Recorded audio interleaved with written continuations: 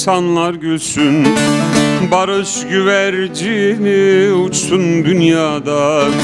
Yok olsun kötülük, düşmanlık ölsün. Barış güvercini uçsun dünyada. Dostluklar kurulsun, insanlar gülsün.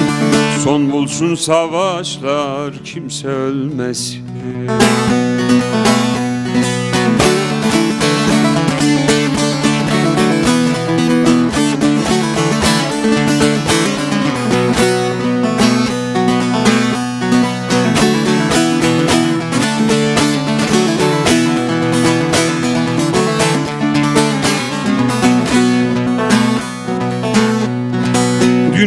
cennet olsun yaşasın insan.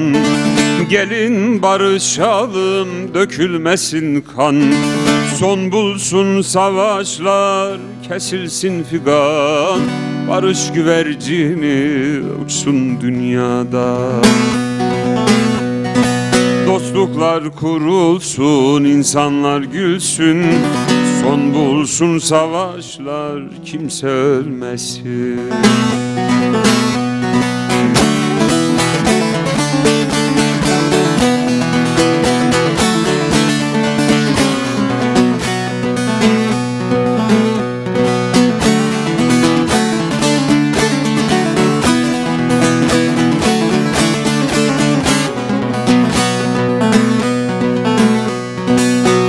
İnsancıl insanlar barıştan yana Ancak zalim olan kıyar insana.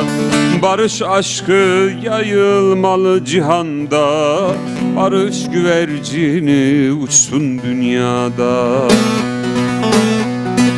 Dostluklar kurulsun, insanlar gülsün Son bulsun savaşlar, kimse ölmesin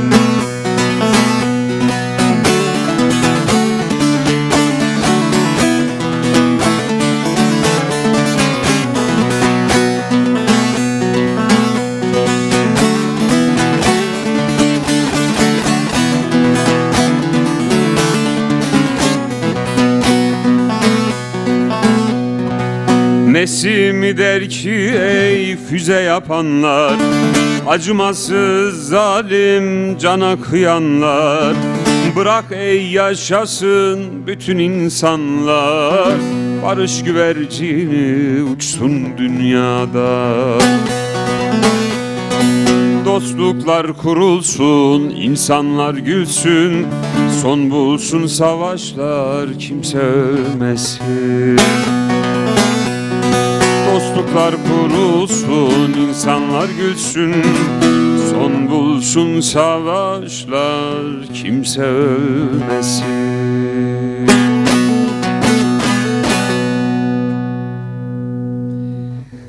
Evet sevgili izleyiciler merhaba. Bir bir haftalık ara verdikten sonra tekrar canlı yayında birlikteyiz. Çok kıymetli hocam Zeyat Şahin'le birlikte.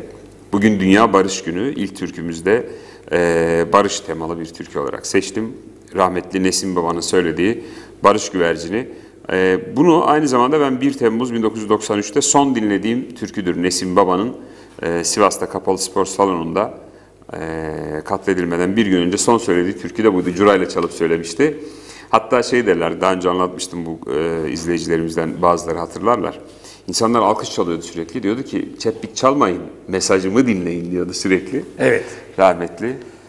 E, ışık olsun, yolu nur olsun. Hocam hoş geldiniz. Hoş bulduk İlke. Ee, aslında Nesim Baba'nın mesajı çağlar öncesinden beri bu topraklarda bütün ozanlar tarafından söyleniyor.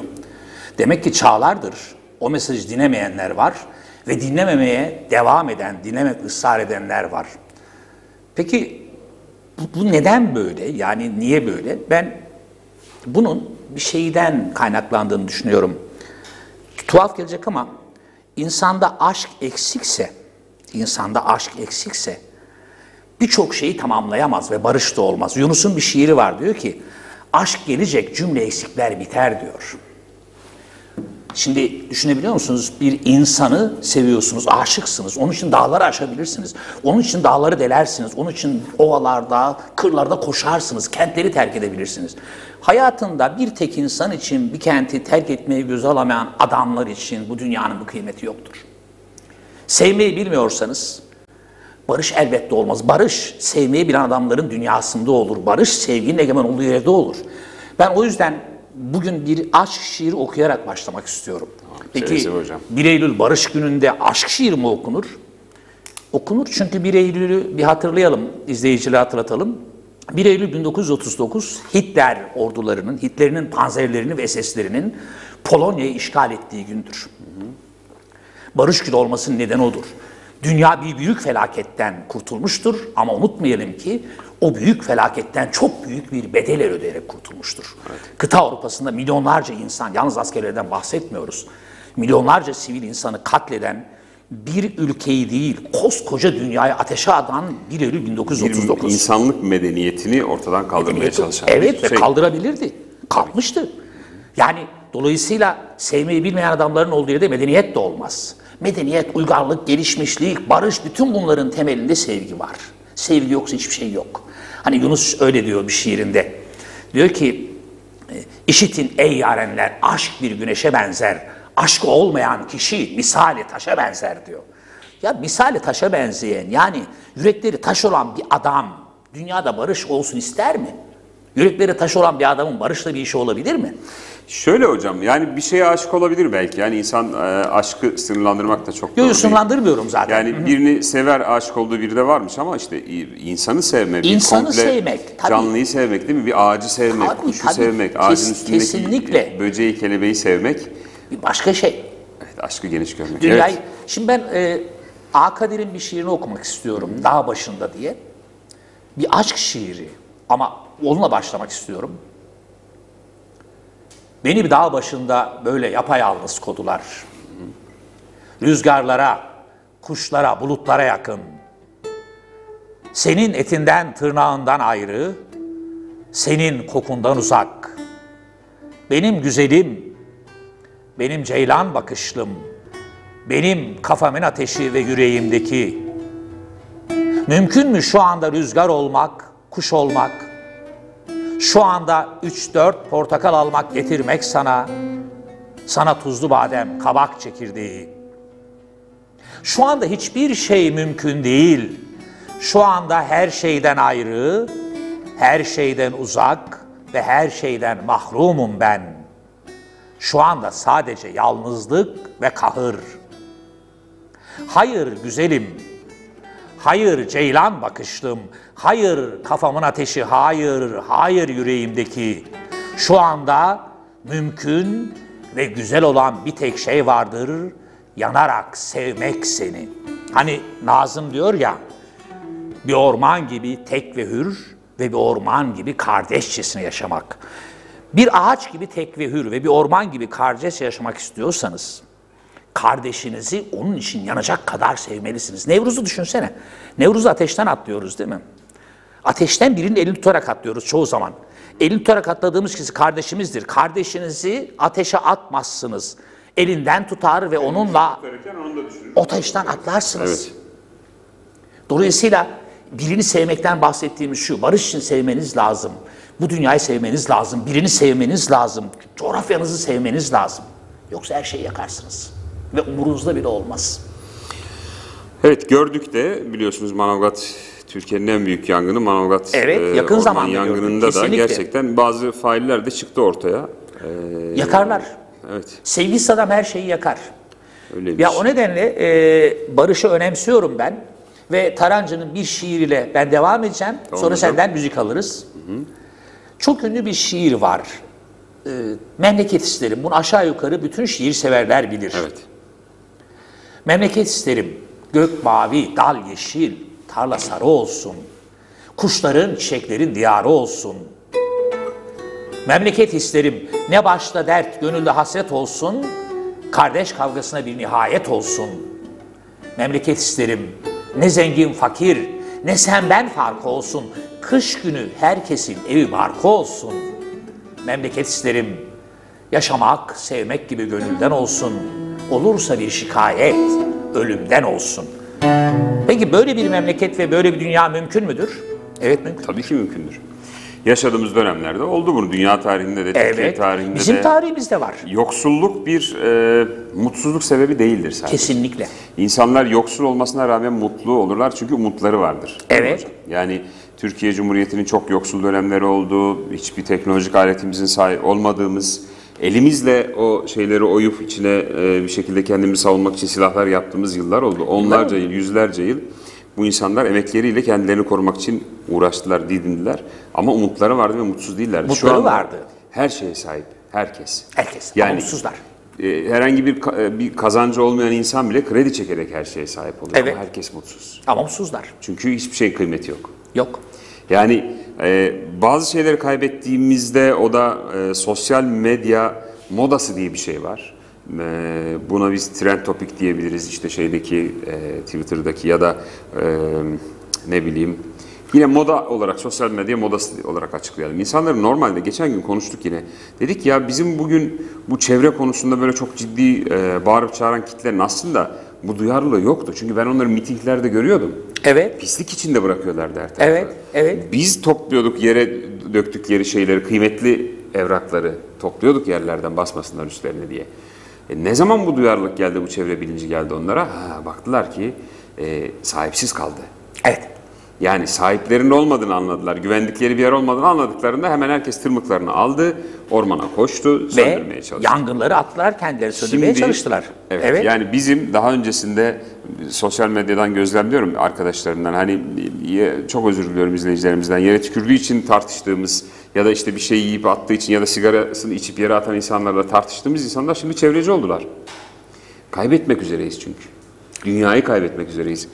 Ee, bir kısa bilgi vereyim izleyicilerimize. Geçtiğimiz günlerde başlayan hatta 15-20 günlük bir süreç bu. Bir internet kesilmesi. İşte herkes kendi e, internet sağlayıcısını aramış o arada. İşte onlar onu aramışlar. Benim telefonum çekmiyor değiştireceğim bu bilmem ne filan diye. Bir güneş patlaması olmuş. Ciddi bir güneş patlaması olmuş. Onun etkilerini bugünlerde yaşıyoruz şu anda. Önümüzdeki günlerde çok ciddi iklim dengesizlikleri yine yaşayacağız. Bir anda havalar soğuyacak hızlı bir şekilde, yağmurlar yağmaya başlayacak Türkiye'ye yine. Sonra tekrar ısınacak. Neden biliyor musunuz? İşte bizi koruyan o tabaka gitti ya, ozon tabakası. Evet, evet, evet. Birebir yaşıyoruz artık bunu. Yani normalde güneş patlaması dünyayı bu kadar etkilemez eğer bizi koruyan atmosferimiz olsaydı. Bizi niye koruyan atmosferimiz yok? Çünkü o zararlı gazların salınmasına göz yumduk yıllarca. Medeniyet dedik, zenginlik dedik, güzel kokmak dedik. İşte buzdolaplarında kullandık, bilmem nelerde kullandık. Yok ettik onu. Şimdi bugün e, orman yangınlarında bunu açıklıyoruz. Taşkınları da sel baskınlarında Çok bunu şey, kesinlikle. E, tabii ki sel baskınlarında hani e, gerçekten bir açgözlülük de söz konusu. Kesin. Yani dere yatağı 400 metreyken işte 15 metreye düşürmüşsün sen. Aslında şey yazmış arkadaşlarımız görmüşsünüzdür. Gördüm, dere gördüm. taşmamış ki kendi yatağında Kendi, gidiyor. dere- sen tabii, taşmışsın sen ey taşmışsın. insan. Ben hatta o, konu, oraya. tabii o konuda bir yazı yazmıştım ben yıllar önce. Yine yayınladım.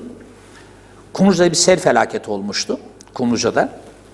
O zaman bir yazı yazmıştım. Ali Emin'in gördüğü diye bir hikaye anlatılır Kumluca'da. Bir yörük obası Alakır Çayı'nın kenarına konmuş. Yörük obasının da biraz yaşlıca bir önderi, bir lideri varmış. Yerden bir kaya almış, okşamış ve demiş ki yarın sabah buradan kalkıyoruz. Ya niye falan demişler. Demiş ki bu çay taşı. Bu taşı buraya getiren almaya gelir. Buraya yerleşilmez. Biz Alevmi'nin gördüğünü göremedik. İşte tam bu noktada ilke barışa daha çok ihtiyacımız var. Niye biliyor musun? Artık uğruna savaştığımız dünya, kazansak da kaybedeceğimiz dünya. Evet. Yani dünyanın hepsi bizim olsa bile onu kaybetme ihtimalimiz o kadar fazla ki artık hep beraber dünyayı beklenen, beklediğimiz muhtemel bir felaketten kurtarmak zorundayız. Barışa çok ihtiyacımız var. Dünyayı ele geçirmek için savaşsanız da bir şey değişmeyecek. Ele geçirdiğiniz şey size yar olmayabilir. Size yar olmasını istiyorsanız önce dünyayı felaketlerden kurtarmanız lazım. Bir çizgi, e, bir karikatür gibi bir şey görmüştüm, hiç unutmuyorum onu. E, bir merdiven var ve insanlar o merdiveni parçalarını kırarak birbirlerine saldırıyorlar. Oradan çıkabilmek için. Aslında şu anda dünyanın durumunda biraz o değil mi? Evet, yani evet. O merdivenin ayaklarını kırıyorlar ve birbirlerine, Birbirine saldırıyorlar onlarla. Oysa merdiven hepsini kurtarabilir. Merdivenin hepsini oradan çıkarıp Evet. kurtarıyor. Şu andaki dünyanın durumu da bu. Barış bizi Biz kuyudan- birbirimizle evet. dünyanın kaynaklarını kullanarak savaşıyoruz. Yok ettiğimiz şey sahip olmak istediğimiz şey aslında. Evet. Yani o merdiveni biz kırıp Kesinlikle. kırıp parçalayıp birbirimize Kesinlikle. vuruyoruz.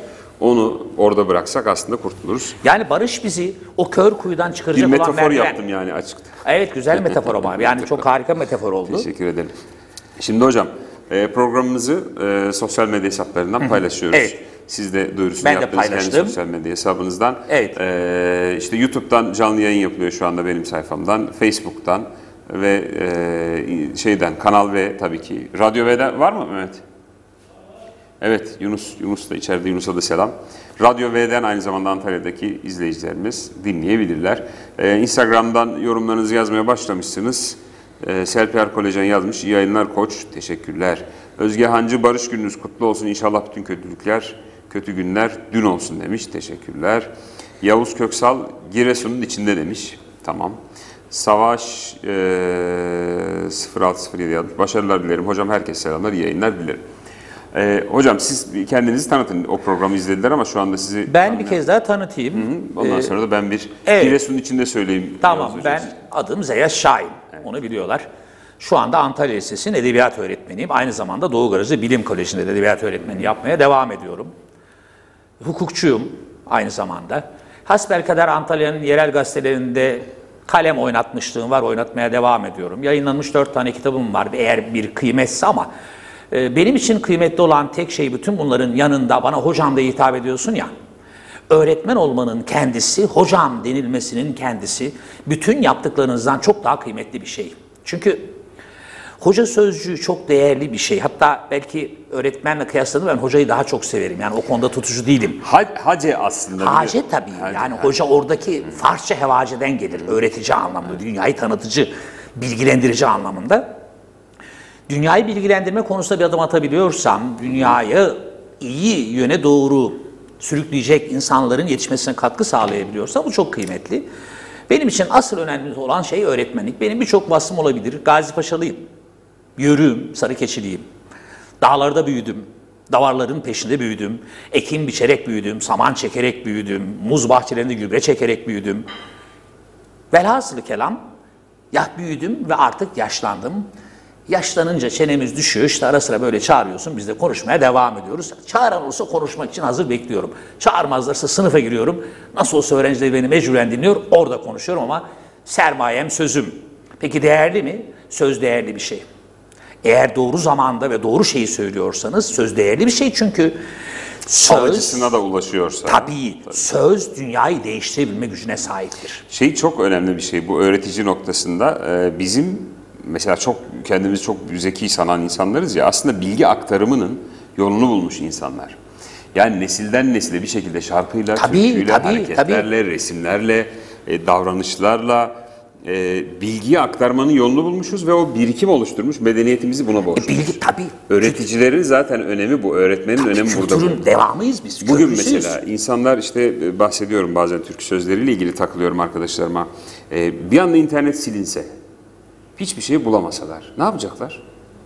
Yani şimdi bir şey geliyor aklına mesela hemen yazıyor tık tık tık tık tık arama Ama şeylerine. İl- İlke Türk Doğan bu sazı, bu bağlamayı çalmaya devam ettiği sürece internet kesilse de biz kadim Yazılı bilgileri... kaynaklar ve anlatıcılara ihtiyacın Evet, olacak. kadim bilgileri, biz kadim bilgileri geleceğe taşıyabileceğiz. Kadim bilgi geleceğe şiirle taşırsınız, türküyle taşırsınız, kilimlerin desenleriyle taşı- taşırsınız. Bir şey var hocam, e, bu e, buluta yazmaya başladılar biliyorsunuz artık. Yani normal bizim bildiğimiz büyük hard disklerin ötesinde daha artık çok daha geniş, sonsuz genişlikte bilgilerin kaydedildiği e, depolar oluşturmaya başlandı.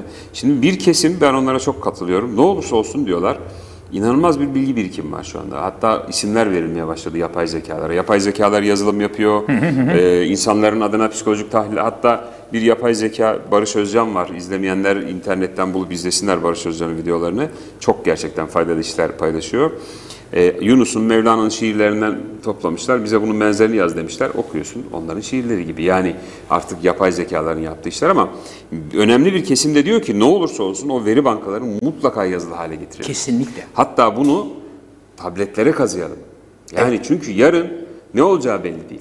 Yani yarın bir şekilde bizim e, sonuçta bir enerji iletim sistemi internette.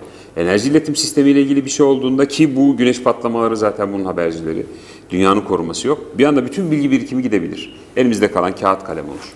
Ama sanatla, sanatla birlikte eğer o bilgiyi taşırsak geleceğe ilke, kaybolmasını önlüyoruz. Duvar resimleri niye var? Yani biz bundan binlerce, yüz binlerce yıl öncesinin duvar resimlerini öğrenebiliyoruz. Taşa kazınan resimler bize kadim bilgi getiriyor.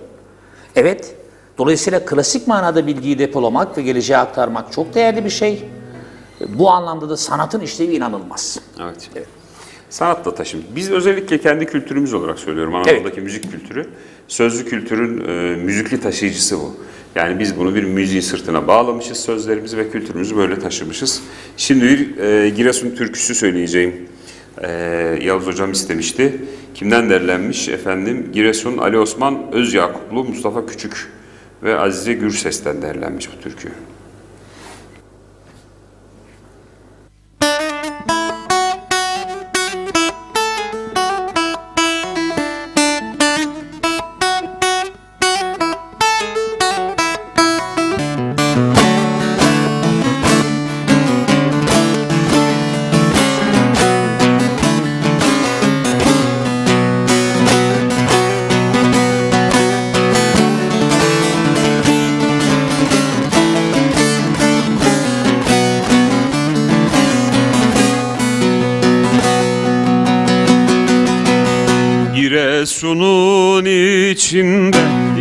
Sokak arası.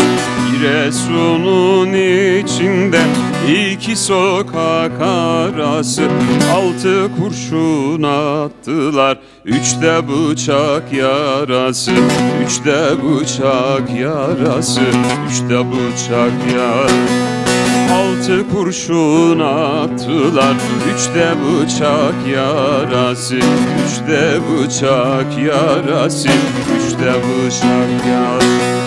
Vuruldum düştüm yere Gidemedim uzak Vuruldum düştüm yere Gidemedim uzak ne deyim sevdim Düşürdüler tuzağa Düşürdüler tuzağa Düşürdüler. Ne deyim sevdim Düşürdüler tuzağa Düşürdüler tuzağa Düşürdüler tuzağa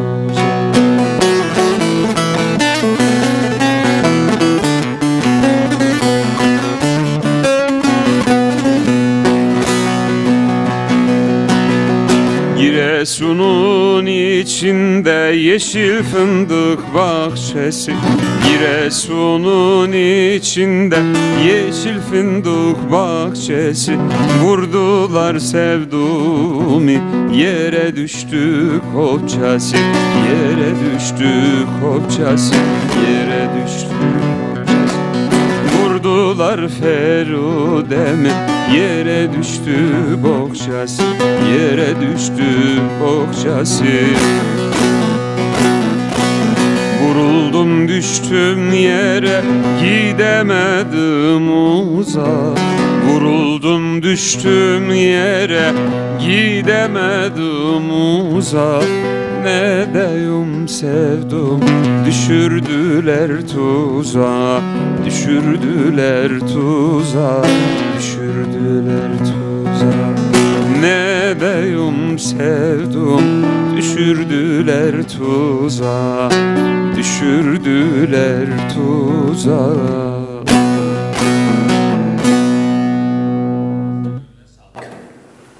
Teşekkür ederim hocam. Ee, Yavuz abi de teşekkürler. Uzun süredir böyle Karadeniz türküsü hiç söylememiştik. Aslında ben birkaç Karadeniz türküsü ha- hazırladım ama Ali Orhan Lazaloğlu hocam programa katılırsa onunla beraber söylemek için Evet saklıyorum. yani o olmalı değil mi? Kazım Koyuncu'dan Ali, da- Evet, Ali Orhan olmalı Aslında kesinlikle. sözümüz de var, bir gelecek ama bir türlü fırsat bulamadık. Neyse Evet, canımız sağ olsun. da. Ali Orhan Türk söylüyor mu? Ee, çok güzel dinliyor. Deniyor. Ama görenler Allah için söylesin. Öyle mi? Şeyi de ara sıra mırıldanıyor sabah programlarında filan. Şiir de okuyor böyle. Güzel. Ha, Türkü de Bence söyler güzel ama. söylüyordur o Şu kendi. Bence söyler. Her Karadenizli güzel. Daha doğrusu e, Anadolu'da herkes türkü söyler. Evet. Bilir yani. Bilir, türkü bilir. Hatta söyler de. Ya onlara iyi söylediniz, kötü söylediniz demenin bir anlamı yoktur. Çünkü aslında türkünün bir tek söylenme biçimi yoktur. Ben bazen yürüyüp Sarıyaylı'ya asılıyorum. Şimdi ben normal söylemeye çalıştım Evet. ama Karadeniz şivesiyle söylemezsen de olmuyor. Getir Evet, yani. şeyin bir e, sevduğumi demen gerekiyor yani. Oranın o şeyi vermek Evet, için. çok da kırmadan hani şiveye de çok taklit yapmadan ama vurdular sevduğumi dediğinde oluyor. Vurdular sevdiğimi dediğinde işte O başka bir şey oluyor. Çok da taklide girmeden ama. Ha yani Çok özür dilerim hocam. Mehmet benim çantamın içinde pil var verebilir misin sana zahmet? Bir kare şeklinde bir pil olması gerekiyor. Şimdi e, türkü e, öyle bir şey. Ben bazen sorarlar. Ben iyi türkü söylerim falan diyorum. Müzik eğitimi yok diyorum. Müzik eğitimi falan almadım ama benim dedem, dedem türkü söylerdi. Dedesi türkü söyleyen bir adam türkü söyleyemez mi? Söyler. Benim oğlum Hocam Ankara'da. kesin söylersin o zaman bir tane seninle türkü söyleyeceğim. Söylerim tabii ben türküsü ben Türk'üm ya. Bu topraklarda doğdum. Türküsü benim dedem türkü söylerdi. O yüzden ben de söylerim. Benim oğlum Ankara'da okurken ilke bir gece yarısı telefon çaldı. Saat böyle e, gecenin iki buçuğu falan yataktan fırladım. Çocuğunuz Ankara'da ve sizi gece yarısı arıyor. Korktum tabii ne oluyor falan. Baba bize Sarıyaylı'yı söyle. Oğlum nereden çıktı? Arkadaşlar oturup muhabbet ediyor bunlar. Diyor ki benim babam İyi Sarıyayla türküsünü bana çok söylerdi. Şimdi ben babamı arasam bize bu türküyü söyler. Gecenin bir yarısı kalktım, salona oturdum. Telefonu açtım, henüz görüntülü telefon yok, normal cep telefonları. Ve oğluma gece yarısı türkü söyledim. Peki iyi mi söyledim?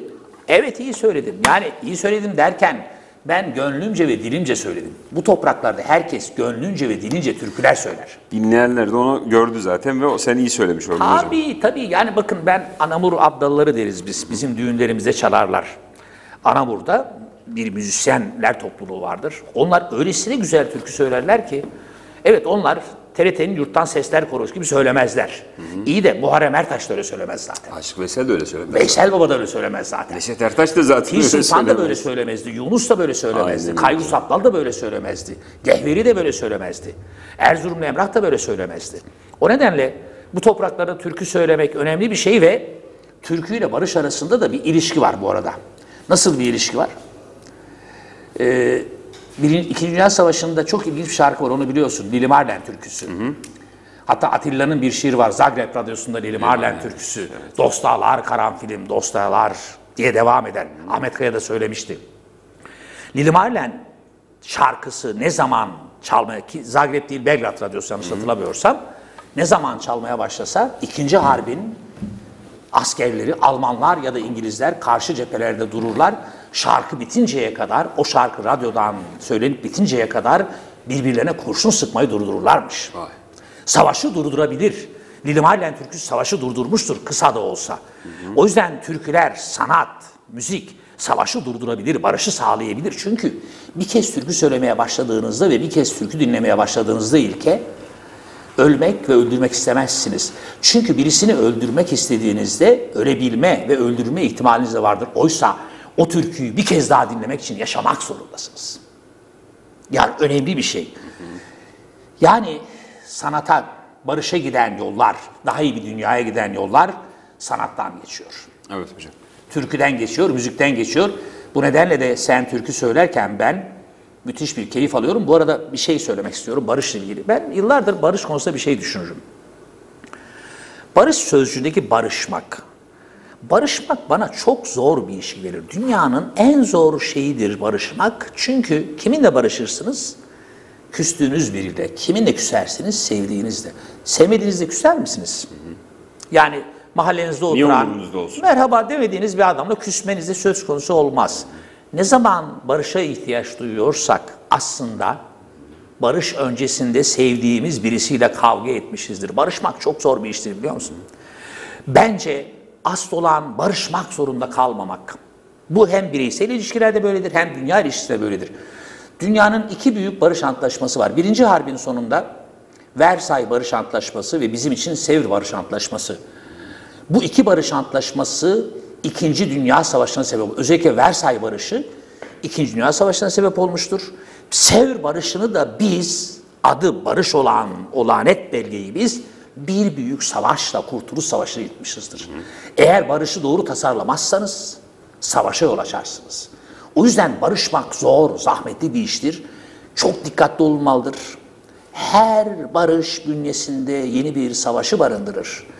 Yeni bir savaşa barındırmayacak bir barış içinse adalet gereklidir. Yani tam da burada toplumsal eşitlik, adalet, dünyanın nimetlerinin adil dağıtılması devreye girer. Siz dünyanın nimetlerini... Eşit değil tabii, adil Ya- diyoruz biz burada. Eşitlik Ya, ve adalet eşitlik- arasındaki adil. e. Aristoteles'in çok güzel bir Tabii, tespiti var. Diyor ki demokrasi diyor bir eşitlik rejimidir. Adalet rejimi Adalet değildir diyor. değildir. Eşitliktir diyor. Yani sayısal üstünlüğü alan diyor kazanır. Fakat diyor Ben adaletten adil bahsediyorum. midir diyor. Abi, adil midir? Yani Biz şeyin- bugün görüyoruz bunu adil midir. Evet, iki, Şimdi Birleşmiş Milletler'de karar adamlar ne yapıyorlar? Sayısal çokluğa göre bir karar alıyorlar değil mi? Peki aldıkları karar barış sağladı mı? Sağlamadı. Milletler Cemiyeti Birinci Dünya Savaşı'ndan sonra kuruldu. İkinci Dünya Savaşı'na kadar bugünkü Birleşmiş Milletler'in yerindeydi. Milletler Cemiyeti doğru düzgün karar alabilseydi İkinci Dünya Savaşı çıkmayacaktı. Milletler Cemiyeti'ni zaten ileride bir sorun olursa bizi zor durumda bırakmasın diye kurmuşlar hocam. Yani Evet. başımıza iş çıkmasın. Evet yani o diye. nedenle barışmak Ama biraz daha geriye gitmek gerekiyor aslında bu işle ilgili. Yani şöyle bir şey, bir e, kararsız madde diyorum ben ona anlatırken. Bir kararsız madde kendi potansiyeline uygun hareket etmezse, yani olduğundan büyük ya da küçük davranırsa bir sorun oluşturuyor etrafında. Atom altı, yani kuantum fiziğinde de bu Evet, var evet, zaten. evet. Şimdi e, o kararsız maddenin yaptıkları etrafında bir reaksiyon oluşturuyor. Ve bu bir karmaşaya sebep oluyor. Ha ondan sonra bir başka yapı oluşuyor, enerji ortaya çıkıyor, patlama, ısı Tabii ortaya kaos çıkıyor. bir düzene de gider bu çıkıyor. arada. Her kaos Ayrı düzene bir gider. Şey Evet. yani. Ama Osmanlı İmparatorluğu'nun e, 1700'lerin artık başından itibaren oluşturduğu büyük bir güç ve kontrolsüz güç. Yani defalarca İngiltere, Osmanlı İmparatorluğu yıkılmasın diye e, çaba göstermek zorunda kalmış. Çünkü diyor Tabii. ki yıkılırsa tutanın elinde kalacak diye o hasta adamı yaşatıyorlar sürekli. Sürekli bir destek oluyor. Sonra Rusya ile bizim ilişkilerimizi incelesinler. Çok rica ediyorum sevgili izleyicilerden Kesinlikle. merak edenler varsa. Bizim Rusya ile Rusya Rusya savaşımız Rusya'yı kendimizin topraklarımıza davet etmemiz, korumak için kendimizi İtalya'ya karşı Rusya'yı çağırıyoruz. Sonra İtalyanlar ve Ruslar tehlike oluşturunca İngilizlere gidiyoruz. Yani bu Atatürk'e kadar böyle devam ediyor. Atatürk'ten itibaren artık dengeli bir dış siyaset ortaya çıkıyor. O dış siyasetle birlikte biz kendimizi koruyabiliyoruz. Söylediğiniz çok, önemli. Tabii. Orada da Atatürk'ün dünyayı doğru okuması ortaya çıkıyor. Yani Şunu şunu görüyor Atatürk. Tabii. Bir dinamik ortaya çıkarıyor. Tabii.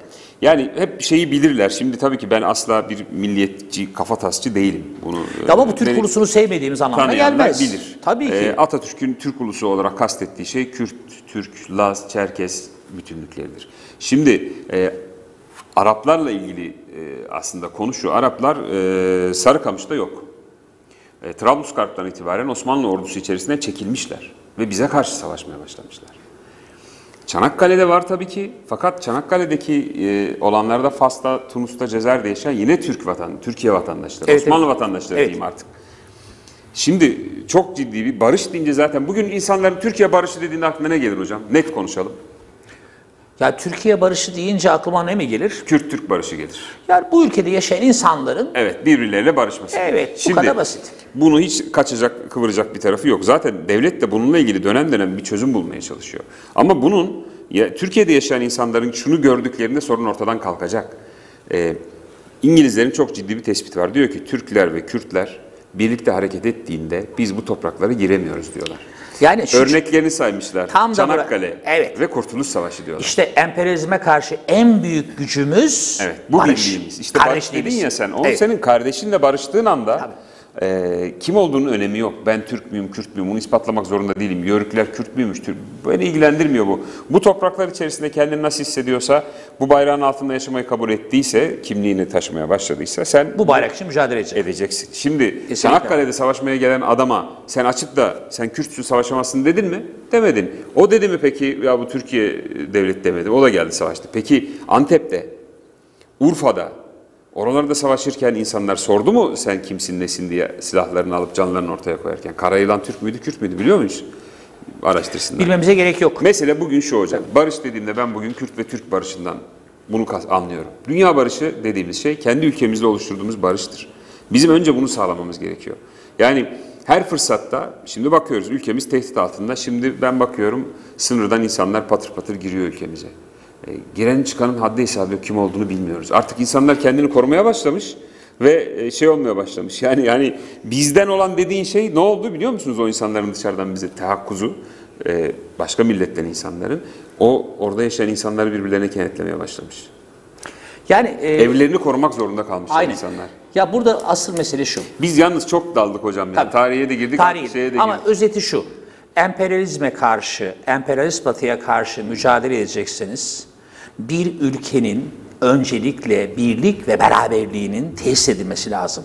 Kabul edelim ki, kabul edelim ki Batı'nın o devasa azgınlığı karşısında yapayalnızsak hiçbir işe yaramayız. Birlikteysek Batı'nın azgınlığına karşı koyabiliriz. Şunu unutmayın.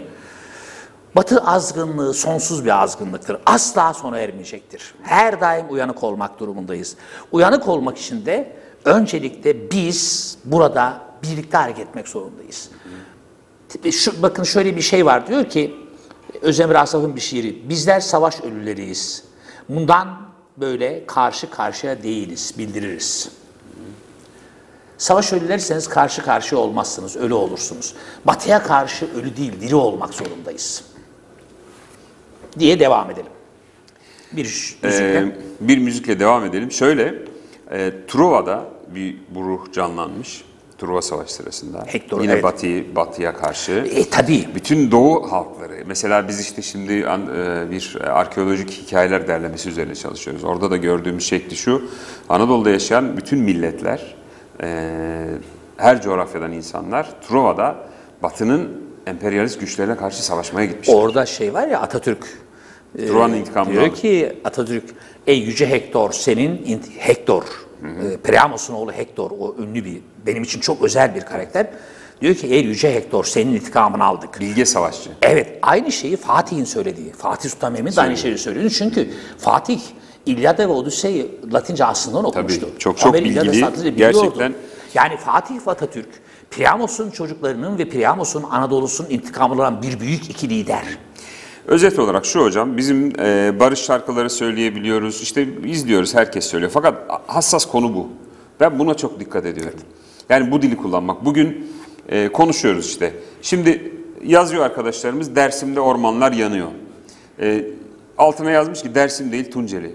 o da altına yazmış ki ya abi Tunceli ise de orman yanıyor yazmış ya.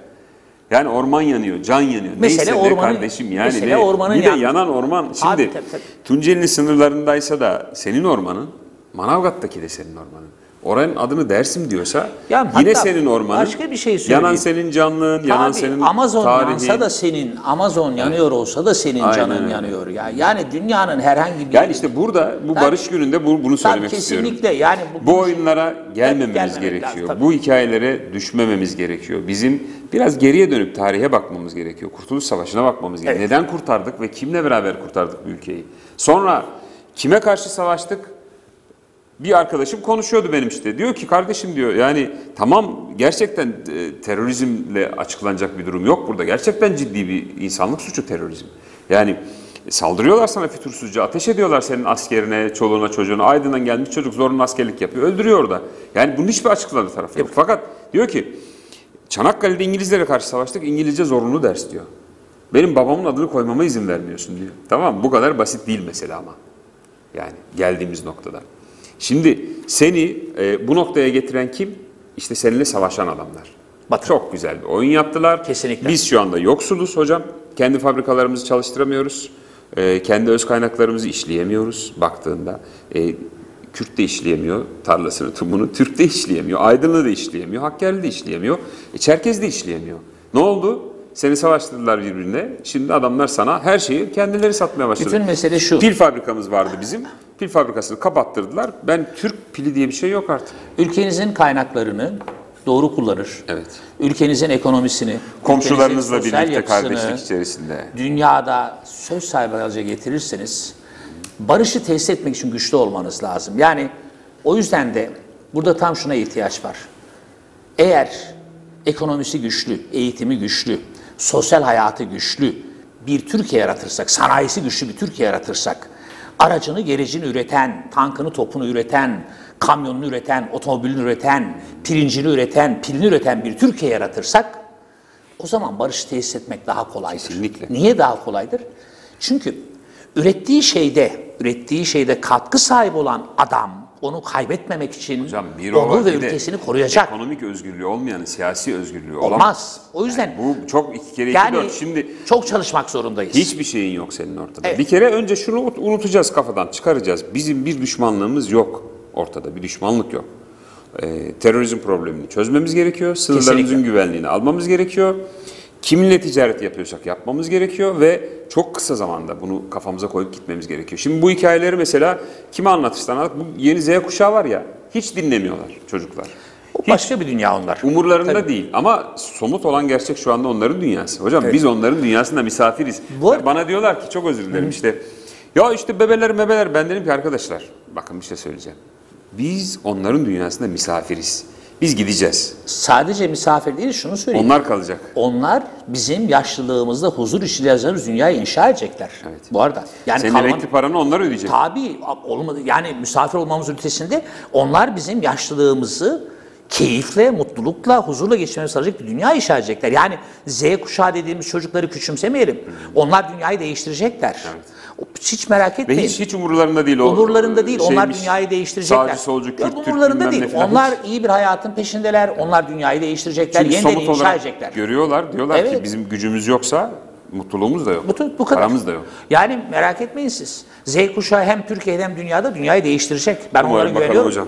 Bitsin. Çünkü bu bu yalana inananlar Evet. asla mutlu olamıyor. Barış da gelmiyor hocam. Aynen, Çünkü aynen. kendi topraklarında barışı ilan etmeden dünyaya barış getiremez. Bir güzel türkü var Karacaoğlan'ın. Karacaoğlan da çok barışçı ve sevgili Devam edelim. Evet. Ee, bu türküyü annem için söyleyeceğim. Canım annem.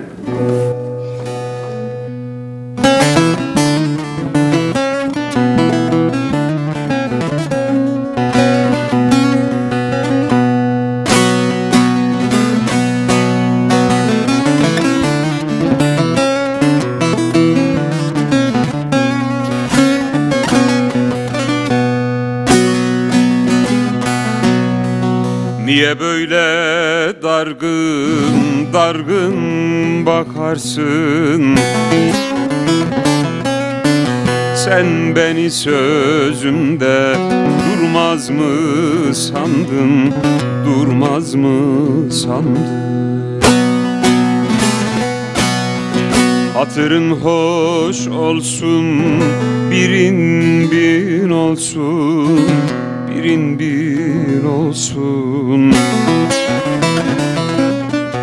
Yalanıza sabah olmaz mı sandın, olmaz mı sandın? Yalınıza sabah olmaz mı sandın? Olmaz mı sandın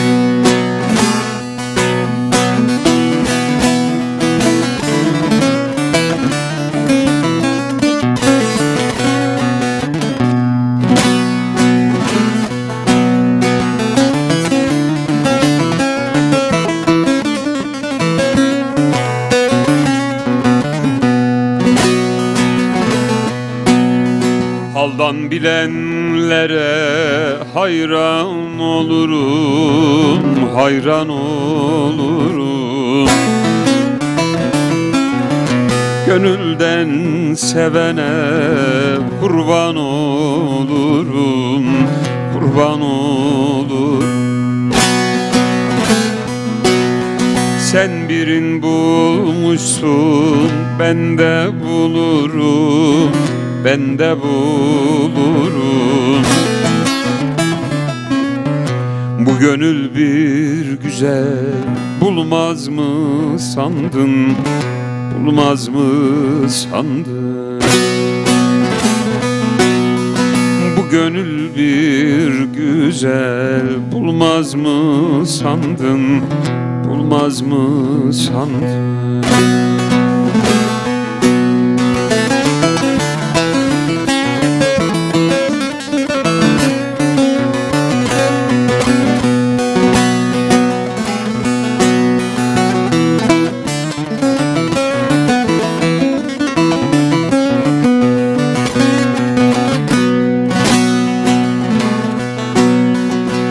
Aracı olan der ki böyle olmasın, böyle olmasın. Arada engeller murad almasın, murad almasın. Sana senden olmuş, benden olmasın, benden olmasın. Herkes ettiğini bulmaz mı sandın, bulmaz mı sandın? Herkes ettiğini bulmaz mı sandın, bulmaz mı sandın?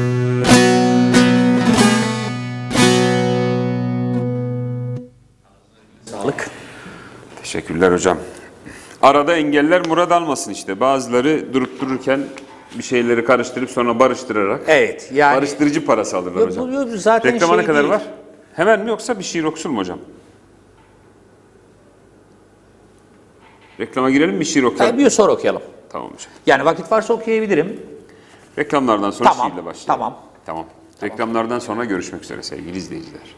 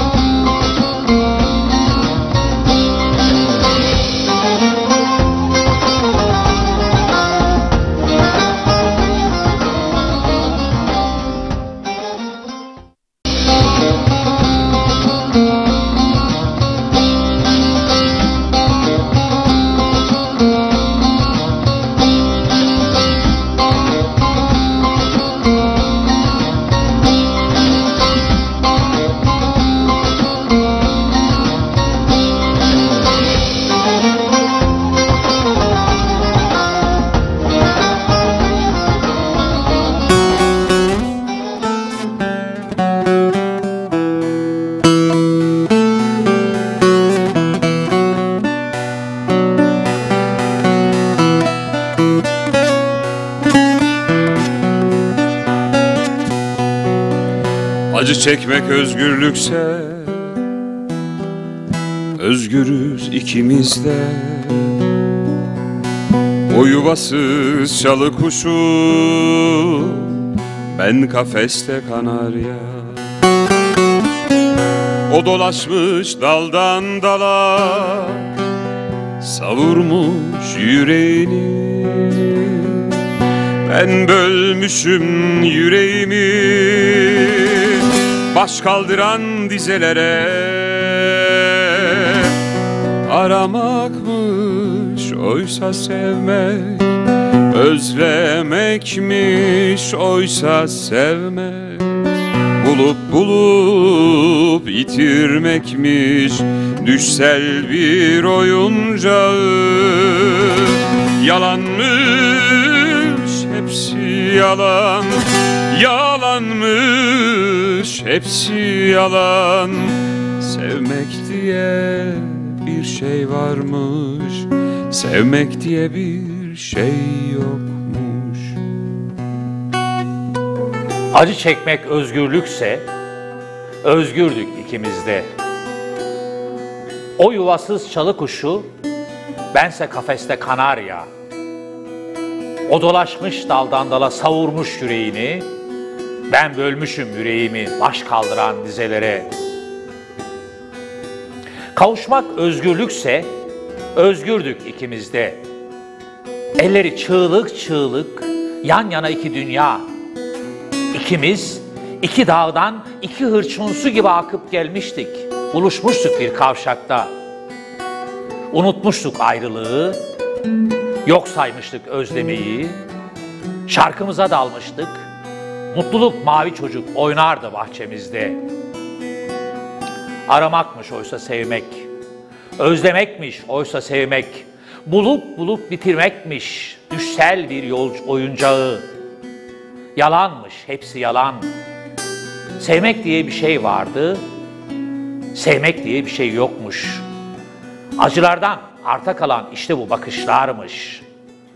Kuğu diye gözlerime gün batımı bulutlarmış. Yalanmış, hepsi yalan. Savrulup gitmek varmış ayrı yörüngelerde. Acı çektim günlerce, acı çektim susarak.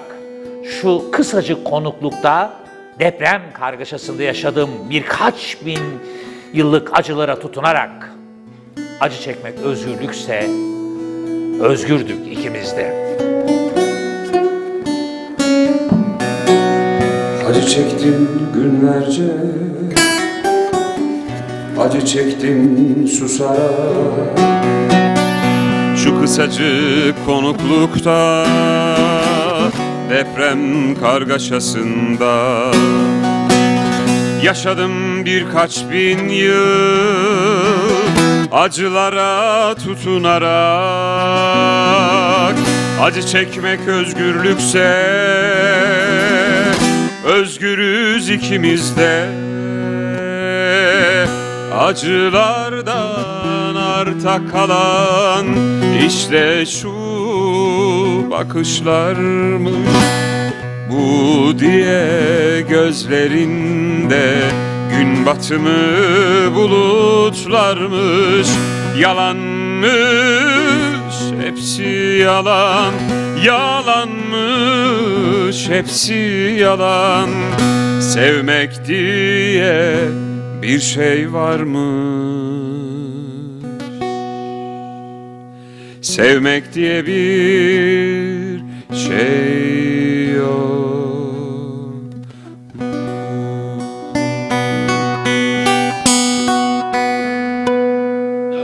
gelip uzak Asya'dan Akdeniz'e bir kısrak başı uzanan bu memleket bizim. Bilekler kan içinde, dişler kenetli, ayaklar çıplak ve ipek bir halıya benzeyen toprak bu cehennem, bu cennet bizim. Kapansın el kapıları bir daha açılmasın. Yok edin insanın insana kulluğunu bu davet bizim. Yaşamak bir ağaç gibi tek ve hür ve bir orman gibi kardeşçesine bu hasret bizim. En güzel deniz henüz gidilmemiş olandır. En güzel çocuk henüz büyümedi. En güzel günlerimiz henüz yaşamadıklarımızdır ve sana söylemek istediğim en güzel söz henüz söylememiş olduğum sözdür diyor Nazım. Önce Hasan Hüseyin Korkmazgil'den acılara tutunmak, sonra da Nazım'dan davetle devam ettik. Ama şu şiirin son bölümü çok önemli diyor ki ve sana söylemek istediğim en güzel söz henüz söylememiş olduğum sözdür. İnsanlığın henüz söylememiş olduğu sözler var. En güzel sözü içimizde saklıyoruz. Bu sonsuza kadar böyle devam edecek belki. Hep söylemek istediğimiz en güzel söz olacak. Ama biz insanlığın barışı için, insanlığın refahı için, insanlığın mutluluğu için, ülkemizin barışı, refahı ve mutluluğu için, daha doğrusu çocuklarımızın güzel bir hayat yaşaması için en güzel sözü söylemeyi geciktirmemeliyiz. Evet hocam. Bunu erteleyemeyiz. Erteleyemeyeceğimiz, erteleyemeyeceğimiz şeyler vardır. Çocuklarımızın yaşayacağı dünyayı inşa etmeyi erteleyemeyiz diye düşünüyorum İlke. Çok haklısın hocam. Gerçekten çok güzel bir şiir. Hasan Hüseyin Korkmazgil'in benim, benim de çok severek söylediğim bir e, şarkıdır, bestedir. Ağzına sağlık, yüreğine sağlık. Teşekkür ederim hocam. Yorumları okuyayım bakalım izleyicilerimiz neler söylüyorlar. İsmail Aktaş yazmış Ankara'dan abimiz. Ee, merhabalar İlke Bey, iyi yayınlar, iyi akşamlar. Konuğunuza da hoş geldiniz diyorum. Bize de bir türkü armağan ederseniz sevinirim demiş. Hoşçakalın. Tabii ki ne istemiş? Ayrıca 1 Eylül Dünya Barış Gününüzü kutlarım demiş. Teşekkür ediyoruz hocam. Ee, Ali Orhan abimiz yazmış. İyi yayınlar, güzel dostlar. Aslında yayına bağlayıp bir türkü söyletecektik ama misafirlikteymişsiniz. Evet, yani Ali Orhan bir türkü söylese olur yani. Aslında onu programa almak istiyorum Evet, hocam. İşte yani, gelse evet, de böyle bir de. e, şey yapsak, bir sohbet etsek, biraz konuşsak. Şimdi e, mesela tüm gündeme hakim. Kesinlikle. Ülke gündemine hakim. Tabii zaten sadece Antalya değil tabii. yani bu sabah tabii. haberlerini sunmadan önce Kanal V'de zaten Evet. bir çığır açtı. Yani Kesinlikle. inanın ki şöyle söylüyorum. Biz bize övüyormuşuz gibi ama ben Sivas'ta e, açtım ve herkes dinle izlediler. Ali Orhan'ın sabah haberlerini ve çok severek izlediler. Yani çeken yer var, çekmeyen yer var. Facebook'tan da gösterdim dedim ki buradan açıp izleyebilirsiniz sabah haberlerini falan diye. Antalya ile ilgili bilgileri, bu bölgeyle ilgili sadece Antalya'da değil. Çok iyi bir iş yapıyorlar. Ali Orhan'la birlikte gazetelerde yazdık beraber. Öyle mi? Uzun yıllar. Evet. Sakaldan belli zaten bir Evet. arkadaş. Ya yok tabii biz Ali Orhan'la yarışamayız sakalda. Yani onunla yarışmamız mümkün değil. Birlikte yazılar yazdık. Ama Sağ yarışa olsun. girmek için şey lazım. Yani hani kimin kazandığı önemli değil. Yarışmak, Evet. Ha, yarışmak yarışırsınız hocam. keyifli tabii canım. Ben de yarışırım sakal. Yani ha o kazanır. Ha. Ama bir kazanın olabilmesi için birilerine yarışabilmesi gerekiyor. lazım. Tabii yani. yine de kazanan Ali Orhan olsun canım. Yani Olsun. bir sakıncası yok tabii ki. Şimdi devam ediyorum. Ee, 07 Gazi Paşa. İyi akşamlar, iyi yayınlar diliyorum. Mümkünse Zeyat Hocam'dan bir şiir dinleyebilir miyiz demişler. Biz çok konuşunca herhalde Evet, sevgili biz- izleyicimiz. Ee, bizim Ayhan Şimşek abi, King Şimşek olmuş ismi ama Almanya Kiel'den sevgi dolu selamlar demiş. Aleyküm selam abicim. Bizden de oralara selamlar. Ayşe Yılmaz Güler Duman'dan sazım türküsünü benim için çaldım söylerseniz çok sevinirim. Ben de çok sevinirim ama türkünün sözlerini henüz çıkarmadım. Evet. Yeni bir e, çalışması var. Güler Duman seslendiriyor. Güzel bir türkü ama henüz daha ona eğilemedik maalesef. Özge Hancı Ervahı Ezelden'i okur musun güzel kardeşim demiş. Okumaya çalışırım. E, Murat Kars abim yazmış. İyi akşamlar, iyi yayınlar İlke. 1 Eylül Barış Günü kutlu olsun demiş. Size de kutlu olsun efendim. Bunlar Instagram'dan sizin yazdıklarınızdır. Onların hepsini seslendirmiş oldum. Hocam şimdi dedik ya ekonomik özgürlüğü olmayanın siyasal özgürlüğü, seçme Kesinlikle, özgürlüğü de olmaz. Şimdi e, Yasin'e gelirken onu söylüyorum. Diyorum ki hemşerin ne kadar güzel sözler yazıyormuş. Abi senin hemşerin diyor. Mulis Akarsu'nun yazdığı çok güzel bir türkü var. E, bir aksilik olmazsa 9 Eylül'de ben Serik'te bir konser vereceğim. E, bir, bir- gönüllü bir konsere gidiyorum orada. Bunu orada söyleyeceğim özellikle. Ee, bak aslında siyasi değil. Ama bugün yaşadığımız ortamda tüm yoksullukla ilgili, çevreyle ilgili söylediğiniz her şey siyasiymiş gibi oluyor. Ha bu arada siyaset kötü bir şey değil. Değil, değil. Yani Ama- şu- şurada da anlaşalım. Siyaset bu ülkenin sorunlarının çözüm üretme biçimlerinden bir tanesidir. Evet. Ve siyasetten kaçacak halimiz de yok. Elbette siyasi bir duruşumuz bir tarafımız olacak. Tarafsız olan olacak. bertaraf olur. Tabii canım bir taraf söyle- olan bertaraf olur. Şimdi e, ilginç olan şu oldu. Yoksulluktan bahsettiğinde hemen siyaset yapma diyorlar. Ya yoksulluk diyorum ben bir şey demedim ki. Ya da Cevap orman bu. yangınları ile ilgili konuşuyorsun mesela. Ya çok siyaset yaptın. Ya da mesela diyorsun ki kardeşim bu ülkede kadınlara şiddet var. Kadına şiddet, Siyaset yapma. no, siyaset yapma. O zaman Allah cevabımız Allah. şu olur İlke. Bunlara cevabımız şu. Hayır efendim biz siyaset yapacağız. Ormanlar yanmasın diye siyaset yapacağız. Çocuklar ölmesin diye siyaset yapacağız. Kadınlar şiddet görmesin diye siyaset yapacağız. Dereler kurumasın diye siyaset yapacağız. Tosbağalar, yılanlar, kuşlar ölmesin diye siyaset yapacağız. Kıyılarımız işgal edilmesin diye siyaset yapacağız. Yapmak zorundayız. Ne yani? Siyaset yapmayalım da kıyılara çöksünler mi? Siyaset yapmayalım da derelere çöksünler mi? Siyaset yapmayalım da dağlarımızı, bağlarımızı, kurtlarımızı, kuşlarımızı yok mu etsinler? Yani siyaset yapmayalım da yaşama hakkımızı gasp mı etsinler? Şimdi senin yaptığın şey e, siyaseten bir şeyi yok. Karşılığı yok aslında. Hani bir parti partizanlık değil. Hayır parti değil ya Ee, tabii. Bir e, politik altyapı için söylemiyorsun. Fikrimi Sadece derdini söylüyorum. anlatıyorsun. Evet, işte şimdi mesela diyor ki pahalılık, alev gömlek giyemezsin demedim mi? Her öğünde soğan ekmek yiyemezsin demedim mi? Elin havyar, senin turşu buna koyamazsın karşı. Kimi eğri, kimi doğru seçemezsin demedim mi? Çimento yok harç içinde. Alem her gümerç içinde. İşçi kardeş borç içinde. Yüzemezsin demedim diyor. Şimdi bak çimento yok harç içinde diyor. Binalardan bahsediyor. E, İzmir'de deprem oluyor. Yanındaki bina duruyor. Buradaki bina çöküyor. Nasıl oluyor bu iş? Adamın kendisine yaptığı binada hiçbir sıkıntı yok. Bana yaptığı çökmüş. Sattığı binada Yani çök- çalmış. İşte diyor ki bak yazmış adam burada. Evet. Bunun bir siyasetle bir şey var mı? Yani siyaset olacak zaten. Bak bununla ilgili bir şey daha söyleyeyim sana. Ben devlet memuruyum. Son kıtayı da Heh, okuyayım oku. hocam. Akarsuyum, akarsuyu da rahmetle, sevgiyle, saygıyla anıyorum. Bu ne illet? Durma sazım ile anlat diyor. Sazın ile anlat. Soy kardeşim böyle millet bulamazsın demedim mi? İşte bu. İşte bu. Şimdi bak devlet memurları ilgili bir yasak var. Der ki devlet memurları kanunu. İşte sen de biz de ikimiz de memuruz aynı zamanda. Devlet memuru siyaset yapamaz. Şimdi fakat devlet memuru dediğiniz kimdir? Hukukçudur, öğretmendir, hekimdir, mühendistir, mimardır, veterinerdir, ziraatçıdır. Yani ülkenin bütün kaynaklarını seferber ederek yetiştiği beyinlerdir. Bu ülke elinden, tırnağından arttırır, boğazından arttırır, çocuklarını eğitir. Dünyanın en iyileri olmasa da elinden geldiği kadar Böyle bir yasa vardı ama şu anda reelde yok. Güçler Yok ama- ayrılığı kalktıktan sonra ortada. Hayır, şöyle Dev- ama- Devlet diye bir şey Heh, artık şu anda Şöyle bir değil. şey söyleyeceğim. Şimdi sonra diyorsun ki e, bütün kaynaklarını seferber ediyorsun. Ülkenin gençlerinden bir kısmını yetiştiriyorsun. Sonra diyorsun ki ey yetişmiş gençler ama siz siyaset yapmayın. Yani ne yapmayın? Ülkenin meseleleri konusunda görüş bildirmeyin. Evet ben bir siyasi partiye üye değilim. Ama müsaade edin ben ülkemin sorunları konusunda konuşabileyim. Ormanlar yanarken konuşabileyim. İnsanlar yoksulken konuşabileyim. Sokaklar kirliyse konuşabileyim. Eğitim kötü gidiyorsa konuşabileyim. Konuşabileyim ya konuşmalıyım. Konuşmazsam benim eğitilmişliğim ne anlam var? Ben meseleler olduğunda konuşayım diye bu ülkenin kaynaklarıyla eğitildim. Aslında benim konuşmam yani o manada siyaset yapmam ülkeye borcum. Bu ülke beni yetiştirdi. Bu ülke beni yetiştirecek ama ben bu ülke kalkınsın, gelişsin, daha güzel olsun, hayat daha yaşanır olsun diye görüş bildirmeyeceğim. E Hem de ülkeye- devletten maaş alacaksın. Evet, Devletin ülkeye borcum- için yorum yapmayacaksın. Ülkeye borcumu nasıl ödeyeceğim? Evet. Şey değil yani bir e, şeyin adını devlet koydun diye kusursuz olacak diye bir şey yok. Evet. Ya da hükümet sen oy veriyorsun diye bir parti mükemmel diye bir durum yok.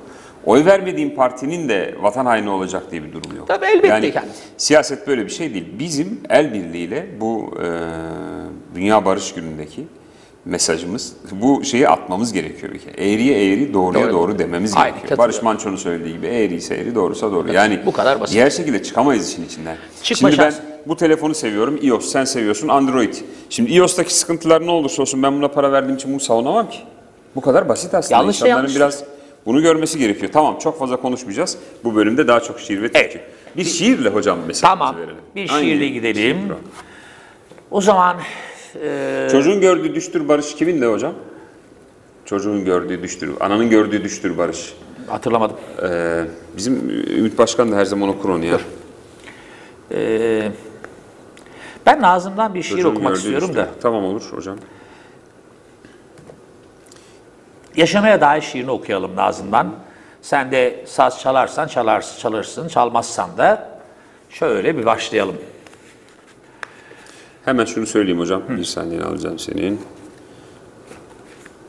Yannis Rissos. Ritsos'un şiiri. Ee, burada var. Evet. Var mı? O şiir burada ama çok uzun bir şiir. Bir bölümünü okuyayım. Aha.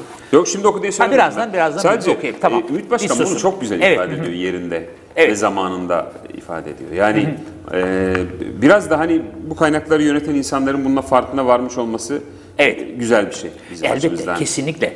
Ben şiir okuyan e, bir başkana sahip olmayı, şiir okuyan bir politikacıya sahip olmayı, şiir okuyan, saz çalan, türkü söyleyen, Hakan Tütüncü mesela çok Evet, enteresan. Hocam evet. bir güzel şiirler Evet, okuyor. ben ezbere. Hakan Bey'le bir yerde Ve bulundum. gerçekten çok iyi bir edebiyat Kesinlikle. sahip. e, Antalya bu konuda sahip. şanslı. Ümit Başkan, Hakan Başkan şiir okurlar, türkü söylerler, şarkı söylerler. Ya biz şanslı bir coğrafyada yaşıyoruz. İyiyiz iyiyiz de işte ormanlarımız da yanmayaydı iyiydi. Değil mi? Onun yanına iyiydi. Pekala. Haydi bakalım. Yaşamaya dairle devam edelim. O zaman ben sana ne fon yapsam acaba ya? Fena olmaz. Yine Nazım'dan bir şeyle devam edeceğiz. Yaşamaya dair. Yaşamak şakaya gelmez. Büyük bir ciddiyetle yaşayacaksın. Bir sincap gibi mesela. Yani yaşamanın dışında ve ötesinde hiçbir şey beklemeden, yani bütün işin gücün yaşamak olacak. Yaşamayı ciddiye alacaksın. Yani o derecede öylesine ki mesela kolların bağlı arkadan, sırtın duvarda yahut kocaman gözlüklerin, beyaz gömleğin ve bir laboratuvarda insanlar için ölebileceksin. Hem de yüzünü bile görmediğin insanlar için. Hem de hiç kimse seni buna zorlamamışken hem de en güzel, en gerçek şeyin yaşamak olduğunu bildiğin halde yani öylesine ciddiye alacaksın ki yaşamayı, yetmişinde bile mesela zeytin dikeceksin. Hem de öyle çocuklara falan kalır diye değil. Ölmekten korktuğun halde ölüme inanmadığın için yaşamak yani ağır bastığından. Diyelim ki ağır ameliyatlık hastayız. Yani beyaz masadan bir daha kalkamamak ihtimali de var. Duymamak mümkün değilse de biraz erken gitmenin kederini biz yine de güleceğiz anlatılan Bektaşi fıkrasına. Hava yağmurlu mu diye bakacağız pencereden. Yahut da yine sabırsızlıkla bekleyeceğiz en son ajans haberlerini. Diyelim ki dövüşülmeye değer bir şeyler için, diyelim ki cephedeyiz, daha orada, ilk hücumda, daha o gün yüzü koyun kapaklanıp ölmek de mümkün. Tuhaf bir hırsla bileceğiz bunu. Fakat yine de çıldırasıya merak edeceğiz. Belki yıllarca sürecek savaşın sonunu. Diyelim ki hapisteyiz. Yaşımız da 50'ye yakın. Daha 18 sene olsun açılmasına de bir kapının. Yine de dışarıyla beraber yaşayacağız. İnsanları, hayvanları, kavgası ve rüzgarıyla yani duvarın arkasındaki dışarıyla. Yani nasıl ve nerede olursak olalım hiç ölünmeyecek gibi yaşanacak. Bu dünya soğuyacak. Yıldızlar arasından bir yıldız hem de en ufacıklarından mavi kadifede bir yıldız zerresi yani yani bu koskocaman dünyamız bu dünya soğuyacak günün birinde. Hatta bir buz yığını yahut ölü bir bulut gibi de değil, boş bir ceviz gibi yuvarlanacak zifiri karanlıkta uçsuz bucaksız. Şimdiden çekilecek acısı bunun, duyulacak mahzunluğu şimdiden. Böylesine sevilecek bir dünya, yaşadığım diyebilmen için. Bu şiir severim ama herkesin çok sevdiği şu bölüm benim de çok hoşuma, çok çok hoşuma gider. Yani öylesine ciddi alacaksın ki yaşamayı, 70'inde bile mesela zeytin dikeceksin. Hem de öyle çocuklara falan kalır diye değil. Ölmekten korktuğun halde ölüme inanmadığın için yaşamak yani ağır bastığından. Babam 86 yaşında. Hala zeytin ağacı dikiyor. Oysa bir zeytin ağacı 15 yılda verir zeytini. Babam ölümün bütün acılarını yaşadığı ve ölümü bildiği halde yaşama ölümden daha çok inandığı için 86 yaşında köyde zeytin ağacı dikiyor hala. Benim sevgili dostum Bülent var. Bülent e, dershanede ortak arkadaşım Bülent Bayraktar. Ağır bir hastalık geçirdi, ameliyat oldu ama öylesine bir tutundu ki yaşama. Acıyı gördü ama yaşama daha çok inandığı için şimdi dimdik, benden daha sağlam. Oradan da buna arkadaşıma buradan selamlar gönderiyorum. Daha güzel, daha sağlıklı günlerde birlikte olmaya devam edeceğiz diyorum. Bir hikaye var. Bu ortak bir hikaye aslında. Başka şeylerde de gördüm ben bunu. Ee, bir kral ya da padişah e, bir yerden geçerken çok yaşlı bir amcanın meyve ağacı diktiğini görür. Ee, gider der ki ya sen ne yapıyorsun bu ağaçları? Niye dik- dikiyorsun? Der ki işte ben göremesem bile çocuklarım meyvelerini yer der. Ondan sonra padişahın ya da kralın çok hoşuna gider bu konuşma ve bir kese altın verir ona. Yanlarından ayrılırken seslenir. Padişahım der. Gördün mü bak benim meyve ağacı meyve vermeye başladı diye. Şimdi e, umut da çok önemli bir meyvedir. Çok Kesinlikle, önemli bir kazanç. Kesinlikle. Umut vermek etrafına, güven vermek ya da işte yaptığın işlerle insanların inançlarını tazelemek. Bu inanç sadece tanrısal bir inanç değil. E, yanında olduğuna inanmak da önemli. Tabii tabii tabii. tabii Şimdi biz arıyoruz mesela bir arkadaşımla konuştum. Doktor değilsek çok da elimizden gelen bir şey yok dedi. Birbirimizi aramak dışında doktorla olsak yapacağımız şeyler bazen olmayabilir ama birbirimizi aramamız bile bize güç veriyor işte bu. Yani e, derdini dökme hikayesi var ya anlatabileceğim biri olması, onunla paylaşabilmen. Ben türküleri böyle örneklendiriyorum aslında. İşte bunun Anadolu'nun için, bunun için barışa ihtiyaç var biliyor musun? Evet. Yani derdini döküneceğin adam kavga ettiğin adam değildir. Derdimizi birbirimize birbirimize derdimizi dökerek derdimizden kurtulur. İçini dökmek değil budur. Tabii. İlke. Türkü işte Türkü- ortak değer olmasının sebebi bu Evet, hocam. İnsanlar evet. içini döküyorlar. İçini döküyor. Yani kimse dinlemese bile biz e, Cemal'in türküsünü anlattığı kişi önemi yok birini anlatmak için. Yani onu söylemesi bir şey değiştirmeyecek. Cemal vurulmuş, ölmüş. Evet. Haksız yere gencecik bir adam katledilmiş, ailesinden, çocuklarından koparılmış. E, ama onun bu derdini dile getiren kişi herhangi bir beklentisi olmadan ona çare olmayacağını bilerek sadece bu derdi ifade etmek istiyor. Aslında e, Midas'ın kulakları hikayesi de Evet, evet, evet, tabii, İçini tabii. dökmek, dertleşmek. Kesin- Sanatın şey. aslında ifadesi Evet kesinlikle. biraz bununla bağlantılı Hatta şey. bu paşa hikayesinden de şunu da bağlayalım. Hani e, diktiğiniz meyve ağacı meyvesini çocuklar için verir ya, işte barış böyle bir şey. Barış için attığınız adım siz sonuçlarını görmeseniz de çocukların için önemli bir şeydir. Barış için diktiğiniz ağacın meyvelerini çocuklarınız yiyecek. Çocuklarınız için diktiğiniz ağaçtır barış. Bu arada abimin adı Barış. Abimi de öpüyorum canım benim. Evet. Ee, Barış için söyleyelim o zaman. Tamam. Ben Mulis Akarsu'nun türküsünü seslendirmek istiyorum. Tamam. Güzel bir türkü. Unutanlar varsa onlar için çalalım bir daha. Pahalılık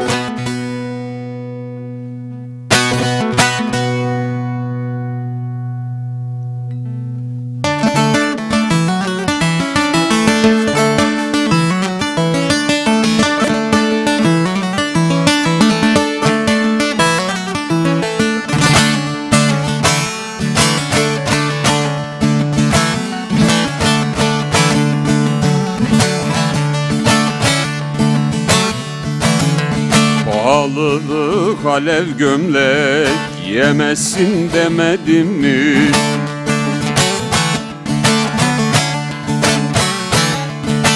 Her öğünde soğan ekmek Yemezsin demedim mi?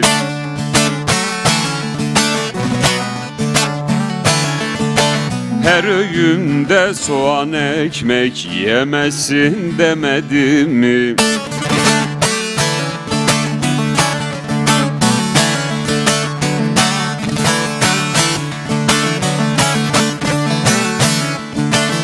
Elin havyar senin turşu Buna koyamazsın karşı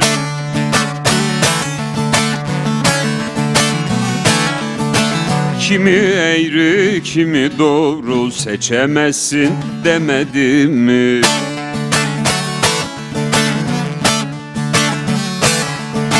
Kimin eğri kimi doğru seçemezsin demedim mi?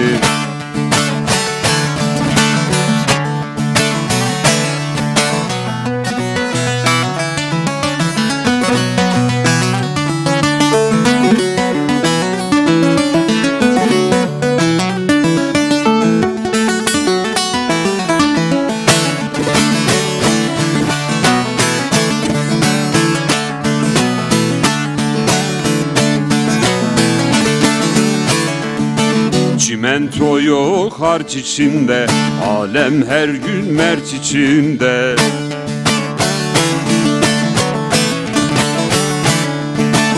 İşçi kardeş borç içinde Yüzemezsin demedim mi?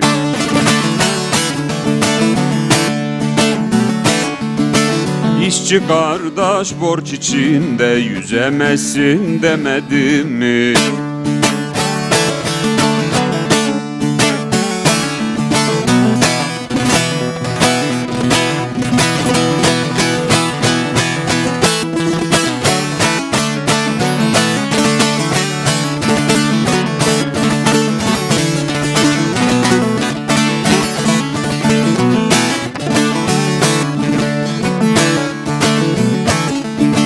Akar suyum buna illet Durma sazın ile anlat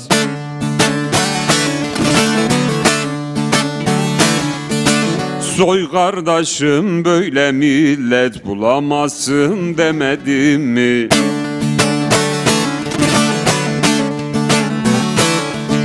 Soy kardeşim böyle millet bulamazsın demedim mi?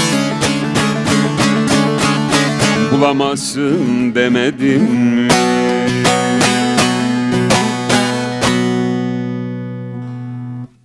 Yüreğine sağlık, ağzına sağlık. Evet. Seninle programda olmanın güzel bir Mulis tarafı babanın- var. Kimsenin sahip olmadığı bir şansa sahip oluyorsun. Böyle canlı canlı türkü dinlemek. Yani bu herkes nasip olmaz. Şu anda kendimi çok şanslı hissediyorum. Her, çok teşekkür ederim. Kesinlikle bu çok- her zaman gelebilirsiniz. Çok Biz bütün bir programı şey. seninle yapabiliriz istersen. Olabilir. Her zaman, her zaman yani. Bir konu seçeriz, gelirsiniz, yaparız. Ben gelirim. Ben, şimdi arkadaşlarım arıyorlar bazen. Ya oğlum bizi niye çağırmıyorsun sen programa? Ben diyorum ki hiç kimseyi çağırmıyorum. Sadece programın olduğunu bilen kişiler var. Geliyorlar. Onlarla konuşuyorum. Hocam ne yapıyorsun diyorum çarşamba günü. İyi bir şey yapmıyorum. Gelsene diyorum programa mesela. Ya da kendisi arıyor bana diyor ki ya e, Bir sohbet edelim. e, gelelim, geleyim ben bir gün programa geleyim diyor mesela. Geliyorlar öyle o şekilde ama tanıdığım insanlarla sohbet ediyorum ben. E, tabii. yani mesela bu bir şey değil. E, Birçok arkadaşım var işte albüm çıkarttık diyorlar. Tanımıyorum hani bir muhabbetim yok. Tanıyorum, biliyorum. Düzgün çocuklar, güzel Bir işler de yapıyorlar sohbet ama. zahmetli bir şeydir. Yani iki saat boyunca sohbet etmesi çok kolay bir şey değildir. Aynen. Yani şimdi ben sizinle konuşacak bir şeylerim var. Ortak bir şeyim var, tarihim var sizinle. Hukukum var derler Evet. hocam. Hukukumuz Ha, var. bizim. aynen. Şimdi ama e, çok güzel bir sanatçı da olsa yeni albüm yapmış ya da klip yapmış e, genç arkadaşlarımı alamıyorum programa. Fakat onlarla ilgili önümüzdeki yıl yani bu işte e, yeni yayın dönemi ne zaman? Bu ayın kaçı? 15'i mi?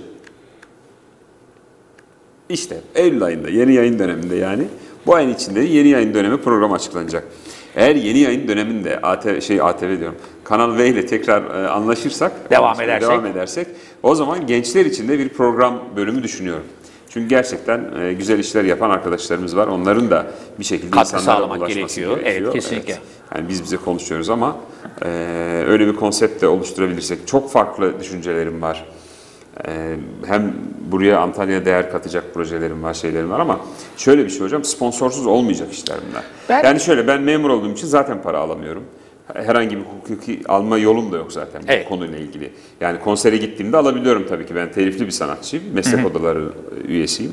Konserlerden vergisini ödeyerek ücretimi alabiliyorum ama televizyon programları gibi sponsorlu işlerden alamıyorum. Bir sponsor bulabilirsem eğer önümüzdeki yıl için bir e, stüdyo konseptli gençler için bir program düşünüyorum. Ben de daha önce hem e, o zaman VTV'ydi, Kanal V'de başka bir yerel televizyon vardı. Orada programlar yaptım, sabah programları yaptım ben de. Bu sistemin nasıl işlediğini biliyorum. Aynen öyle. Yani e, şimdi dışarıdan e, çok bilinmez sistemin nasıl işlediği. Bu, iş, bu işler kolay işler değildir. Yani iki türlü kolay değildir. Birincisi organize etmek. Yani buraya gelmek ve bunu organize etmenin apayrı ekonomik sosyal koşulları vardır. Ama ikincisi bir şey daha vardır. Bir kameranın karşısına geçip bir iki saat boyunca, bir saat iki saat boyunca birbiriyle bağlantılı, kopuk olmayan bir söyleşi yürüteceksiniz. Üstelik de bunu kağıttan falan okumayacaksınız. Yani okuyamazsınız zaten olmaz. Hocam biz tülahatçıyız işte. Evet ama tülat gerekiyor. Sahne şeyi gerekiyor. Tabii sahneniz Ve yoksa. çok keyif alıyorum biliyor Tabii. musunuz? Bugün söyledim arkadaşlarıma dedim ya program yapacak bir yer yok mu? Paramarı istemiyorum. Gelip çalayım dedim ben. Çok Evet. özlüyorum çünkü. Yani insanlarla diyalog halinde türkü söylemeyi onlarla bir de ben programda şey yapmam asla. Yani sohbet ederim, konuşurum onlarla. Evet. Çalarken ciddi bir şekilde dururum. Hatta derler ki suratını asıyorsun falan. Derim, Ama sonra- Ciddi, ciddi bir Evet. iş yapıyorum derim ama fıkra işte şey olur, konuşurum, sohbet ederim falan. Ee, programla ilgili bu işin yönetilmesi, canlı yayında konuşabilmek dediğiniz gibi bunlar Kolay şey işler değil. Kolay işler değil. Tabii ben e, o konuda şöyle bir avantajı sahibim. Ben öğretmenim. Yani hayatım boyunca bir sahnedeyim zaten. Ülkenin okullarında. Ben gelenlerde aynısını söylüyorum. Evet, Diyorum ki, 33 rahat olun. yıldır sahnedeyim. Hiçbir şey yok. Ee, kamera kameraları falan düşünmeyin. Biz bize sohbet ediyoruz. Evet, diyorum. yani Çok yerli gelenler bile Heh. O rahatlığı yaşıyorlar. Sizi yayınlasın yani Aynen. ne yapıyorsa Burası yapsın. normalde e, yine teşekkür etmek istiyorum Okan'a. e, yönetim kurulu başkanımız gerçekten sağ olsun. Normalde bu program saatlerini parayla veriyorlar. Çünkü burası bir yerel kanal. Evet, Yani bu kanalın da ayakta kalabilmesi için Kesinlikle. sponsor lazım. Aynen. Benim gibi bu kanallarda programı yapan arkadaşlarımın hemen hemen hepsi bir sponsor buluyorlar. Yani İşte bir inşaat firması, bilmem ne firması. Onlar bir yandan işte e, reklamlarını dönüp bir yandan da kanala para ödeyerek o sanatçıları sahneye çıkarıyorlar. Yani o saati satın aldıkları için sanatçılar o saatlerde türkü söylüyor. Evet, evet, kesinlikle. E, Bizim böyle bir anlaşmamız yok. Ben ondan para istemiyorum. O da benden istemiyor sağ olsun. Benden de kimse istemiyor. Kimse de ben de istemiyor. gelip Biz burada, buradaki türkülerimizi söyleyip evet, gelip şiirler huzur okuyoruz. içinde- Kesinlikle. huşu içerisinde. Hocam ne okuyacağız şimdi? Şimdi e, e, Barış Yine böyle türkülü bir şey olsa istersen türk- türkülü bir şey de olabilir elbette ki. Veysel'den yapabiliriz. Benim Veysel'in çok sevdiğim şiirleri var tabii ki. Ee, aslında Sen Bir Ceylan Olsan diye bir şiir var. Oo, çok güzel türkü. Onun türkü olarak nasıl olduğunu bilmiyorum ben. Sen Sen bir ceylan olsan, ben de bir avcı. şu bölüme bayılırım. Diyor ki kuş olsan da kurtulmazdın elimden. elimden. Eğer görsem idi göz ile seni. Veysel'in hikayesini bilirseniz o dizenin nasıl muhteşem bir şey olduğunu görebilirsiniz. Bir Veysel'le devam edelim. Tamam hocam. Yani bunu çalmak zorunda değilsin sen. Başka bir çalabilirsin. Buradan bir şey yapacağım ee, sosyal medya ile ilgili.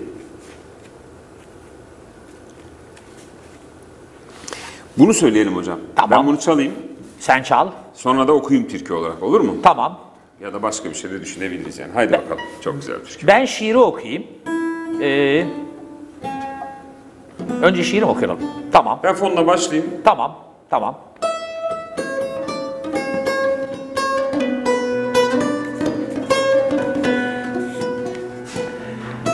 Sen bir ceylan olsan, ben de bir avcı. Avlasam çöllerde saz ile seni. Bululmaz dermanı yoktur ilacı. Vursam yaralasam söz ile seni. Kurulma sevdiğim, güzelim deyin. Bağlanma karayı, alları giyin. Ben bir çoban olsam, sen de bir koyun. Beslesem elimde tuz ile seni. Koyun olsan, otlatırdım yaylada. Tellerini yoldurmazdım hoyrata. Balık olsan, tek takla dönsen deryada. Düşürsem toruma hız ile seni. Veysel der, ismini koymam dilimden. Ayrı düştüm vatanımdan ilimden. Kuş olsan da kurtulmazdın elimden. Eğer görsem idi göz ile seni. Sen bir ceylan olsan Ben de bir avcı Avlasam çöllerde Söz ile seni. Bulunmaz dermanı Yoktur ilacı. Vursam yaralasam Saz ile seni. Vursam yaralasam Söz ile seni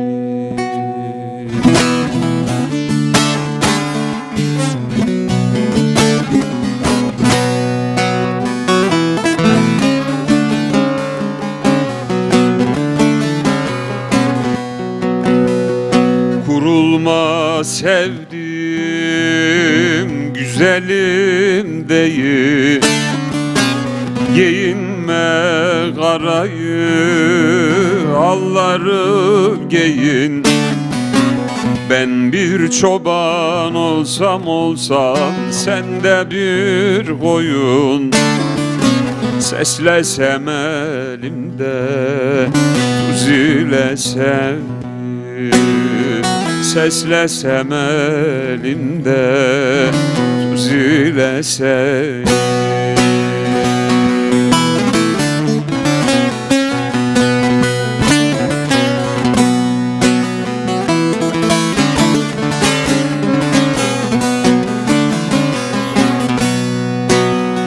Veysel der ismini koymam dilimden Ayrı düştüm vatanımdan elimden Kuş olsan da kurtulmazdın elimden Eğer görseydim göz ile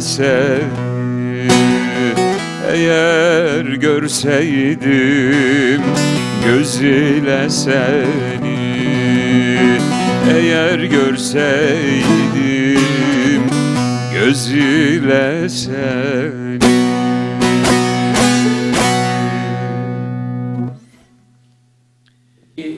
e, Veysel görüyordu aslında. Hani klasik bir laf var, gönül gözüyle görüyordu falan diyeceğiz ama gerçekten de gönül göz diye bir şey var. Evet. Gönül göz diye bir şey var. Veysel e, bir şiiri var, onu da biliyorsundur. Yeni mektup aldım gül yüz diyardan. Gözletme yolları, yolları gel diye yazmış. Sivrialan köyünden bizim diyardan. Dağlar mor benevşe gül diye yazmış. Beserek'te lale sümbül yürüdü. Gül dediği çayır çimen bürüdü. Kara taşta kar kalmadı eridi. Akar gözüm yaşı sel diye yazmış. Şimdi 7 yaşına kadar dünyayı gördüğünü bildiğimiz Veysel, 7 yaşına kadar gördüklerini yazmıyordu aslında. 7 yaşından sonra da görüyor ve yazıyordu. Mor menevşe diyebilmek o kadar e, özel bir şeydir ki bunu bir şiire yerleştirebilmek için gerçekten mor menevşenin Burada Menekşe, biz Menevşe deriz. Sivas'ta da böyle mi bilmiyorum. Annemin adı Menevşe benim. Evet, biz de burada Menevşe deriz. Menekşe değil, Menekşe, Menevşe. değil, Menevşe denir. Menevşe'yi görebilen bir göz vardı Veysel'de ve Menevşe'yi tarif eden bir söz vardı Veysel'de. O yüzden de e, iyi ki bu adamlar var. İşte sana bakınca da e, Veysel'i görüyorum. İyi ki ilke var. İyi ki var çünkü hocam. sen varsın diye gelecekte Türkçe var olacak. İlke bu çok önemli bir şey ama. Veysel var olduğu için bugün biz Türkçe konuşuyoruz. Onlar Türkçeyi geleceğe taşıyan adamlar, Türkçenin erleri, Türkçenin kervancı başısı Veysel. Biz e, geçtiğimiz hafta e, Nevşehir Hacı Bektaş kasabasındaydık. Hacı Bektaş e, Pir'in huzuruna vardık. E, her yıl etkinlikler o tarihlerde Bu yapılır. gittin yani. Gittim tabii ki. Evet. O tarihlerde yapılır ama e, Muharrem Orucu dolayısıyla etkinlikler e, 25-26'sı gibi başladı bu yıl. E, biliyorsunuz işte eline beline diline sahip ol Elbette, sözü elbette. var hünkârın. Bunun bir, bir tarafı da aslında dil dediğimiz kısım. Yani eline beline diline sahip ol kısmında sadece işte hırsızlık yapma, e, uçkurunu harama çözme, küfür etme olarak anlaşılabilir ama bu çok eski bir şeydir. Kadim bir sözdür bu. El dediği şey işte Sivas eli ise Sivas eline sahip olur. Evet, evet, evet. Vatanına. O- onu ben, e, Bel dediği şey soydur. Evet. Dil dediği de Türkçedir aslında. Evet. Kendi dilidir. Evet. Yani biz bunu mesela İskandinavlar söylüyorsa bunu kendi dilleri için ifade Evet, etmiş kesinlikle. olacaklardır. Dil onun için gerçekten e, senin ayrıcı özelliğin tek dil kalır. Yani Hünkar Hacı Bektaş e, bunu Genet- söylemiş olamaz yani. Tabii genetik olarak incelediğimizde bizim biz çok melez bir şeyiz toplumuz. Anadolu özellikle. Yani tarihin Ama başlarından bizi biz beri yapan şey genetikten o dil işte. Dil işte. Bir arada tutan şey. İngiltere'de çok ciddi bir araştırma yapılıyor. Bu genetik bilimsel olarak yapılıyor. İnsanların genlerine bakarak deniyor ki işte sen Türksün diyorlar. Adam çok geçiriyor. Bir İngiliz milliyetçisi olmuş. Türklerden nefret ediyor. Diyor ki senin %65 Türk genin var. Ondan sonra biri diyor ki sen Almansın. Düşünüyor ben Alman olamam diyor ki Almansın. Ona diyor ki sen aslında şeysin Hintsin diyor. Hintlisin diyor daha çok. Çok geçiriyorlar. Sonra onlara anlatıyor. Diyor ki aslında ırk dediğimiz şey bir karmadır. Yani beslendiğin kaynaklardır. Sizi siz yapan şey kültürünüz ve dilinizdir. UNESCO'nun de- bir kültür tanımı var hocam. Gerçekten çok güzel. Önümüzdeki hafta getiririm. Buradan okurum UNESCO'nun kültür tanımı. Sadece bizim sanat olarak gördüğümüz şeyler. Bayağı geniş bir paragraf var. Onu okumak istiyorum buradan. Onun için dil söylediğin şey çok Kesinlikle. da önemli. Kesinlikle. Birçok programda da kendimce e, ifade etmeye çalıştığım şey budur. Dil önemli bir şey. Martin Heidegger diye bir Alman felsefeci dil Heidegger. düşüncenin evidir diyor Heidegger. Heidegger'in bu sözü çok önemli. Dil düşüncenin evidir. Düşünce dil evinde gelişir. Birçok şey dil evinde gelişir. Bugün barış günü barışı konuşuyoruz ya. Barış dilde başlar önce. Barış konuşmak demektir. Barış sözün sözle buluşması demektir. Sözün sözle buluşması ve sözün bu dünyada insan yaşamını belirleyecek bir değere dönüşmesi demektir. Sözle anlaşamayanlar sa- savaşıyorlar Evet, zaten. Ya Yunus diyor ya, söz ola kese savaşı, söz ola avlu aşı yağla bal eyleye diyor. Söz değerli bir şey. Hatta ben şöyle derim bazen, Tanrı bir sözdür değil mi? Yani soyut bir kavram olan Tanrı bize bir söz de vardır. Yani vahiy bir sözdür. O yüzden e, söz, dil önemli. Dil emekçilerini, dil işçilerini, dilin kervancı başları diyorum ben şairlere. Çünkü şairler dilin ve kültürün kervancı başıdır. Onlar şiirlerle kültürü bir sonraki kuşağa taşırlar. Yani bizi var ederler ve bizi var kılarlar. Bizi gelecekte de var kılmak için mücadele ederler. Deyip bir şiirle devam edelim. Edelim hocam. Ee, şey e, sözü var mı? Ee, Sazda olur mu bilmiyorum. Müzikten çok anlamam. Yani Livaneli söylemişti. Gün olur alır başımı gider. Var tabii var hocam. O zaman bir Orhan Veli şeyi okuyalım. Sen de Okuyalım. 10 dakikamız varmış. Güzel. Evet. Şu e, Facebook'tan yorumlar Tamam. gelmiş. Onları bir seslendirmek istiyorum. Hasan Kaçmaz Başkanımız izliyormuş. İyi yayınlar. Kolay gelsin demiş. Teşekkürler. Mehmet Tezel. Erenler Piri Seyit Rıza Cemevi'nden bu yayın yapılıyor. Tüm dünyaya duyur işte gerçekler. Buradan canlılar torunu Piri Seyit Mehmet Tezel demiş. İzliyorlar demek ki. Teşekkür ediyoruz. Ee, Serpiyar Fatma Kemal Türk'ten iyi yayınlar. Teşekkürler efendim. Çiğdem Türk'ten Uğureli. Dünya Barış Günü kutlu olsun. Yine çok güzel bir program. Teşekkürler. Kemal Sarı Kartal nefesiniz hep var olsun. Çok teşekkürler efendim. İbrahim Pala iyi geceler dostlar. iyi programlar Kadim dostlar. İlke hoş geldin. Hoş bulduk efendim. Efendim bu kadar. Onları da okuduk hocam. Sağ Yani olsunlar. insanların emekleri oluyor. Yazı yazıyorlar. Değer görüp Evet, tabii, programı tabii, izliyorlar. kesinlikle, Onları elimden kesinlikle. geldiğince okumaya çalışıyorum. Kesinlikle. Okumadığım zaman da eve gittiğimde onlara cevaplar yazıyorum. Evet ama bu değerli bir şey. Yani Kıs- e, biz kıymet. burada oturuyoruz, sohbet ediyoruz ama insanlar bir şeyin başında bizi izlemek için emek harcıyorlar.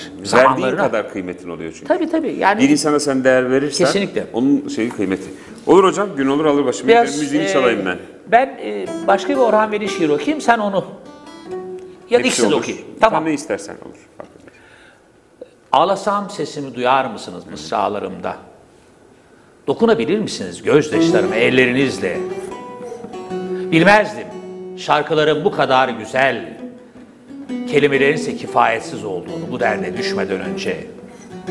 Bir yer var biliyorum, her şeyi söylemek mümkün. Epeyce yaklaşmışım, duyuyorum, anlatamıyorum. Gün olur, alır başımı giderim. Denizden yeni çıkmış ağların kokusunda. Şu ada senin, bu ada benim, yelkovan kuşlarının peşi sıra. Dünyalar vardır düşünemezsiniz. Çiçekler gürültüyle açar, gürültüyle çıkar duman topraktan. Hele martılar, hele martılar, her bir tüylerinde ayrı bir telaş. Gün olur başına kadar mavi, gün olur başıma kadar güneş, gün olur deli gibi diyor Orhan Veli.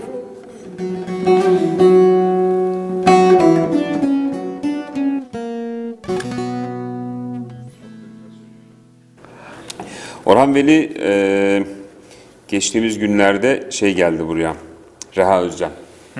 Bir garip Orhan, Orhan Veli oynadı. Tek kişilik bir oyun. Gerçekten mükemmeldi. Ben onu e, yıllar önce rahmetli Meşhur Kenter'den Evet onlar klasikler onlar zaten. İzmir'de izlemiştim Devlet Tiyatrosu'nda. Tabii e, bir de Murat Munga'nın bir metniydi onu seslendirdiği. Aynısı.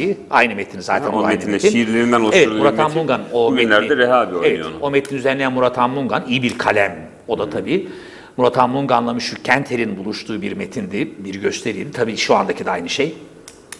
E bunlar böyle yaşayacaklar. Yani bunların varlığı değerli bir şey. Şimdi sanatı ve kültürü burada konuşuyoruz. E Bazen şöyle bir şey var işte sanat karın doyurmuyor falan. Sanat karın doyuruyor. Şiir, türkü karın doyuruyor. Resim ve müzik karın doyuruyor. Peki nasıl doyuruyor? Resmi, müziği, şiiri ve sanatı satmıyoruz. Türküyü satmıyoruz ama biz türkü söylediğimizde, şiir okuduğumuzda, resim yaptığımızda, bir sinema filmi çektiğimizde, bir fotoğraf çektiğimizde dünyaya bir artı değer katıyoruz. İnsanlara, dünyaya farklı açılardan bakmayı gösteriyoruz. E, dünyadaki zenginlikleri ve olup bitecekleri görmek için farklı açılardan bakmayı bilmek gerekir. Bir çok önemli bir nokta var. Dünya gerçekten yoksul olanlar aç olduğu için değil, zengin olanların gözü doymadığı için Gözü yoksulluk doymadığı için, çekiyor. tabii, yani tabii. bunu biz geçtiğimiz günlerde bir arkadaşımla paylaştık. Ee, insanların doyuma ulaşması sanat, bilim, felsefeyle mümkün. Kesinlikle. Diğer şekilde doymuyorlar. Bakın cahil insanlar çok zengin olduklarında doyumsuz oluyorlar. Doymuyor. Ve her türlü ahlaksızlık, her türlü işte kötülük onlardan çıkıyor ortaya. Çünkü doymak için, doyum dediğin şey bir e, maddeden bahsettim ya şeyin başında. Evet, evet. Kararlı madde haline Aynen. gelebilmesi için doyması gerekiyor. Kesinlikle. Onun sanatla doyması gerekiyor, bilimle ve felsefeyle. Ve bu adam doyması. mutlu biliyor musun? E, Kesinlikle o adam Yani mutlu. işte bak- Parası olmasa da kitaplarıyla mutlu. Bir kitap aldığında mutlu. Bir şiir yazdığında, bir şiir okuduğunda mutlu. Ama öbür adam trilyonları oluyor. Basit bir örnek vereceğim. Yat alıyor, helikopterim yok diye Evet. üzülüyor. Helikopteri oluyor, uçağım yok diye üzülüyor. Yani onun üzülmesi, yoksulluğu asla bitmiyor hocam. Asla. Basit bir örnek vereyim. Burayı. Şimdi burada ikimiz oturuyoruz ya.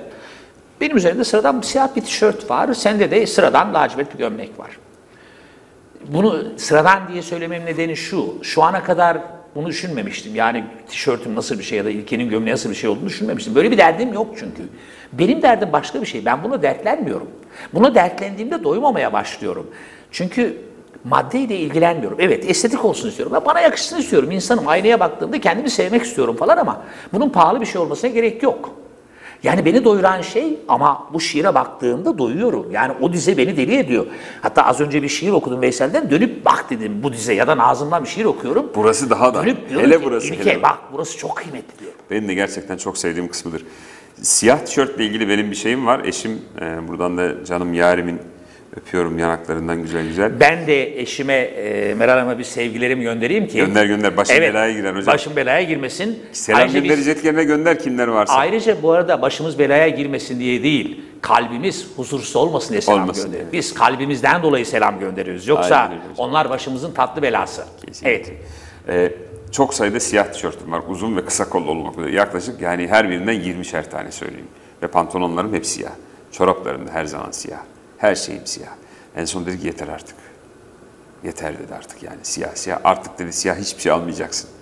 Yani normalde bana kalsa gerçekten burada program yapan arkadaşlarım biliyordur her zaman siyah tişört, üstünde bir gömlek, Ya işte siyah pantolon. Bizim doyum dediğimiz şey bu. Evet, Biz, biz- bizim hiç, için hiç fark umurumda etmiyor. değil biliyor musunuz şeyi? Tabii. Yani eskir, giderim dört tane daha siyah tişört alırım. Biter on tane daha siyah çorap alırım, iki tane daha siyah pantolon alırım. Yani En son Foça'ya seyahat ettiğimde buraya bir geldim tekrar Foça'ya gittim. Aydın'da bir alışveriş merkezine girdim ve yaptığım şey son bir hafta Foça'da kalacağım. O bir haftada kaç kitap okurum hesap ettim. Üç tane kitap okuyabileceğimi düşündüm ve girdim. Üç tane kitap çok istediğim, yakın zamanda okumak istediğim üç tane kitap vardı. Adlarını da söyleyebilirim hatta. Burhan Sönmez'in Taş ve Gölge, Ethem Baran'ın son kitabı ve e, Kemal Varol'un Uzun da Ölüm Var kitabı. Onu da öneriyorum bu arada kitapları. Aldım ve gittim. Beni tatmin eden şey o üç kitabı satın alabilmekti. Ben o üç kitabı satın aldığımda dünyayı satın aldım. Benim dünyayı fethetmeme, dünyaya sahip olmama gerek yoktu. O yüzden sanat karın doyurur dediğin gibi ne kadar zamanımız var bilmiyorum ama bir üç dakikamız var. Son bir şiir ve türkü mü yapalım? ne olur yapalım? hocam şiir okuyoruz, türkü okuruz. Yani şey değil ya, e, bizim Hatta burada ben, hani bunu ben okuduk, bir şey şunu istiyorum. okuduk Ben değil. yürüyün bir Sarıyer'le türkü satmak Doysunlar. istiyorum. ilk. Ta, hadi sen söyle hocam. Ben saz eşliğinde söylemeyi beceremem. ben size saz Benim söyleyeyim. dedem sarı yaylayı söylerdi. Ben de dedem gibi söylüyorum. Şimdi ben bunu söylediğimde içinden ya Zeyyat Hoca iyi hoş falan da türkü işini bilmiyor diyeceksin ama başta konuştuk. Hiç demem hocam. Türkü herkesin dilince ve gönlünce söylediğidir. Dinleseler ben de sazsız söylerim. Evet. Ben şimdi ama bunu, bunu söyleyeceğim. Haydi bakalım. Bunu söyleyeceğim. O sarı yaylamda seni yaylayamadım. Kariken, kariken.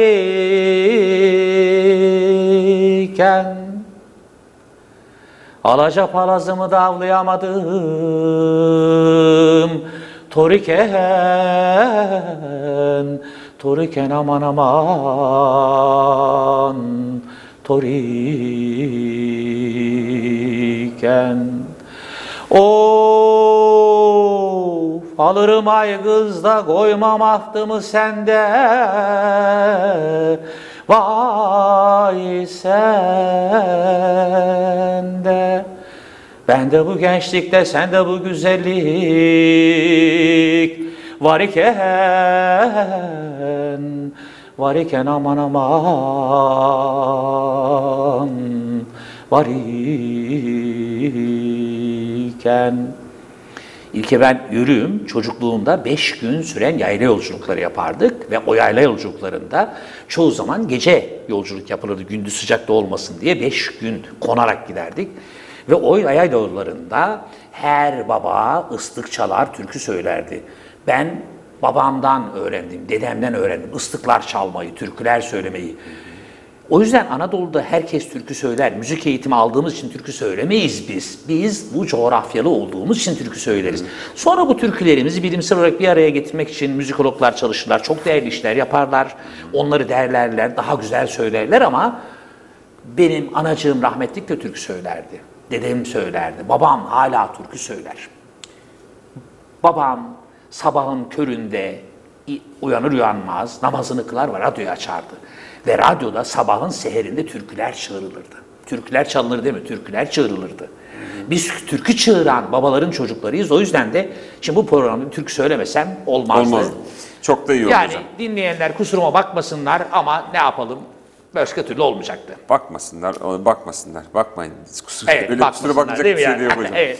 Şöyle bir şey var, ben söylüyorum e, arkadaşlarıma da soranlara anlatıyorum artık. Asla kimseye sormadan bir şey öyle anlatmıyorum. Evet. Bunu öğrendim. E, 40 yaşından sonra bunu fark ettim. Türküyü güzel söyleyebilmek için sevmeniz gerekiyor. Bütün mesele bu. Sanatın her dalında olduğu gibi. Sevebilmeniz için de bunu bir okuldan öğrenmenize gerek yok. Söylediği gibi annemizin babamızın söylediği şekli bile sevdirir bize türküyü. Söylemeyi de sevdirir, dinlemeyi de sevdirir. Okula gittiğinizde, bunun eğitimini aldığınızda, bir kursa yazıldığınızda bunu daha iyi ifade Elbette, edebilirsiniz. Fakat kesinlikle, kesinlikle. asla sizi ne daha iyi sevdirir türküyü, söylemeyi de dinlemeyi de. Ben isim söylemeyeceğim tabii. Bunu e, bunu fark etmemiz gerekiyor genç arkadaşlarım. Ben e, isim söylemeyeceğim. Son derece sanata. popüler olan, çok özür dilerim böldüm lafını ama anış, adı şanı olan kimi sanatçı insanları, çok değerli insanlar tabii. Bazen türkü söylüyorlar ve o türküden o zevki almıyorsunuz. Çünkü türkü bilimsel bir formatla söyleniyor. Türkü gibi söylenmiyor. Türkü akıldan söylenmez. Hocam ben çok Türkü- dertliyim. Program türkü süremiz bitiyor. Yürekten söylenir. Akılla Bunu- ilgilidir, kalbidir türkü. Biz yine seninle konuşalım. Hatta bunu bir türkü şey üzerine bir çalışma Kesinlikle, yapalım. kesinlikle Oturalım. yapalım. Ama bir şey söylemeden geçemeyeceğim. Bak takılıyor kafama çünkü. Şimdi 29 Eylül'de Miyorbil seçimleri var. Ben gideceğim oraya. Ve aday olacağım yönetime. Sebebi ne biliyor musunuz? Bıktım artık. Şundan bıktım. Bakın ben çalışıyorum belediyede çok şükür maaşımızı alıyoruz, hayatımızı devam ettiriyoruz ama öyle aç gözlüler ki ve bunlar ortalıkta dede gibi dolaşıyorlar. Bunlar ortalıkta böyle büyük sanatçılar ya. Uçağa biniyor, sabah bir yerde konser veriyor. Uçağa biniyor, akşam başka bir yerde konsere gidiyor ve şunu söylemiyor biliyor musunuz? Mesela demiyor ki ya o şehirde şu arkadaşım var ben gelmeyeyim de onu yaz diye sahneye söylemiyor. söylesin Türkiye. Bir aç gözlüler hocam. Her yerde aynı adamlar. İstanbul konser yapıyor aynı liste. Hacı Bektaş konser yapıyor aynı liste. İzmir konser yapıyor Her yere aynı aynı liste. adamlar gidiyor, değil mi? Ankara konser yapıyor. Ya bıkmadılar artık. Yani türkünün de bir doyumu olması gerekiyor. Yeter artık ya. Söylemedikleri türkü kalmadı. Okumadıkları tarz kalmadı. Artık bıkmadan, usanmadan. Hatta söyleseyim ben sana. Türkü söyleme ki türkü okumak Beni durdur hakaret var. etmeye başlayacağım yoksa. Bak türkü Ya bana yakışmaz ama gerçekten Yok, sevgili yok. izleyiciler buna bir siz dur deyin ya. Artık yeter. Yok, sen- sen durma, bunu Bakın söyle. popçulara laf söylüyoruz. Diyoruz ki arkadaşım bütün kanallarda ama bütün konserlerde de aynı adamı. Hiçbir türkücü yok. Yani ben hiçbir yerde e, Müslüm Sümbül'ü görmüyorum. Ali Baştuğ'u görmüyorum. Caner Gülsüm'ü görmüyorum mesela bir yerde. Çocuk çok yetenekli, çok güzel işler yapıyor. Ya da işte ne bileyim burada Oğuz Aksaç var, işte Mustafa e, Özarslan var biliyorsunuz şeylerde biliyorum. Ya tamam her yerde çıkabilir, herkes çıkabilir ama mesela Selçuk Balcı'yı görmüyorum bir yerde. Çok güzel genç arkadaşlarımız. Yani birazcık şu büyük sanatçılardan ya paraya ihtiyacınız da yok ben biliyorum. Her şeyiniz var, yazlığınız var, kışlığınız var, arabanız var, eviniz var. Kiralarda mülkleriniz. Yeter artık azıcık doyun ya. Bu müzisyenler gerçekten çok zor bir dönem geçirdiler. Açlar. Siz değilsiniz aç. Sen o lüks arabanı satıp yine geçinirsin. Başka bir şey daha var. Onlar, Yani bir izin verin şu genç arkadaşlarımız Evet. birkaç konsere gitsinler. Tamam siz yine gidin ama götürün şu arkadaşlarımıza. Gerçekten bana söylüyorlar. Diyorlar ki abi böyle ben diyorum ki bakın bizim belediye olarak belli imkanlarımız var ama ben yine bu dengeyi ben kuruyorum. Büyük abilerimiz ben Miyorbil seçimlerinde bunu bizzat isminizle söyleyeceğim sizin. Yani sizin yoksa utanmanız ben niye utanayım? Ben kendi adıma bir şey istemiyorum. Bir lira para da almıyorum. Ama bu genç arkadaşların vebali sırtınızda. O türküleri her söylediğinizde, o her konsere gidip o paraları aldığınızda azıcık utanın artık ya. İlki hatta Ya deyin ki ben bu ay, bu hafta 4-5 tane konsere gittim. Ben artık gitmeyeyim arkadaşlar. Bakın şunlar gitmedi deyin. İsimleri var elinizde. Miyorbil listelerinde var. Biraz onlar gitsin. Yazık günahtır. Yeter doyun artık ya. hatta şöyle yapalım. Bak çok Söyle ellerime bak sefer, hayır, söyle de bir sefer de beni de götürsün. Ben de Türk söyleyeyim canım. Ziyaet Hocam da gelsin Evet, yani ben de söyleyeyim ya, ne Ya babanızın malı mı bu türküler? Yani tamam güzel artık 25 tane albümünüz var. Söylemediniz Evet. türkü kalmadı artık ya. Yeter. Bu, bu kuşaklar nasıl gelecek arkadan? Çocuklara yol Bu açmak çocuklar lazım. nasıl söyleyecekler ya? Bizim zamanımızda şeydi hocam. açmıyoruz aslında. Arif Hoca sahneye açıyoruz. çıkardı. Evet. Onunla öncesinde biz çıkardık ya. Bir sürü bu burada kim varsa hepsi artık kimseyi çıkarmıyorlar. Kendi kadroları var. Kankaları var her birinin. 5-6 tane. Almanya'ya konser giderken aynı kankalar. Her birinin grupları var ama. Antalya'ya gelirken aynı kanka. Aynı kanka İzmir'de aynı İstanbul'da her yeter artık yani. Ya buramıza kadar geldi yeter artık yani o Miyor se bakın MESAM seçimleri ders olmadı kimseye. Miyor seçimleri de aynısı olacak. Bu- Bir, bir gidin artık ya. Bir yetsin artık yani doyun artık. Doymazlar. yetmezse bu millet size bakar her zaman destek olur ama artık yetsin. Yani bir, bir ay içerisinde bir adam 22 konsere çıkar mı? 17 konsere çıkar mı ya? Yani paralı parasız fark etmez ama Evet, yok hiç mi türkücü yok bu memlekette? Bir siz mi kaldınız yani? 20 tane adam sayarım. O 20 adamın 20'si her yerde aynısı var. Ama birçok alanda böyle ilke bu. Sadece müzik değil Ama birçok biz alanda. diyoruz ki hocam duygusalız diyoruz, biz halkız diyoruz. Değil biz değil halk işte bizim diyoruz. edebiyat dünyasında da böyle. Ben ona şöyle diyorum. Subaşın devler kesmiş durumda. Doymuyor bu devler hocam. Subaşın devler kesmiş Ama durumda. yani şiir tamam o da önemli bir sanat dal ama türkü Hayır, biraz orada da öyle. Şeyde, edebiyatta da böyle. Tamam tamam Mehmet beni Tabii, hapse attırma. edebiyatta da nasıl biliyor musun? Bütün o dergilerde bir adam ne yazarsa yazsın yayınlanır. Ama yetenekli son derece genç insanlar var. O çocukların yazdıkları yazılar yayınlanmayı bekliyor. Kimse görmüyor. Yani neredeyse Her alanda subaşın, siyasette de böyle. Bitiyor işte hocam. O, o jenerasyon bitiyor ve bıkıyor çocuklar. Bırakıyor gitara başlıyor. Bırakıyor öğretmen olacağım ben diyor. Abi yaptım yaptım bir şeye varamadım diyor. Ben o kadar diyor çaldım Ne oluyor işte diyor. sanatın Elinden ötesi. tutan kimse sanatın olmadı gücü diyor. zayıflıyor. Evet. Sanatı tıkıyorsun. Öğretmiyorlar da. Neyse hocam. Evet sona doğru geldik galiba. Aa, sona doğru gerildik. Tamam. Geldik, son Sevgili bir- izleyiciler, e, güzel ve sağlıklı günler diliyoruz. E, aşılarınızı yaptırın. Aşı kart- karşıtlığı diye bir saçmalığa inanmayın. Sanki herkes gidip tatanoz aşısının içeriğine bakıyormuş gibi yeni bir şey çıktı.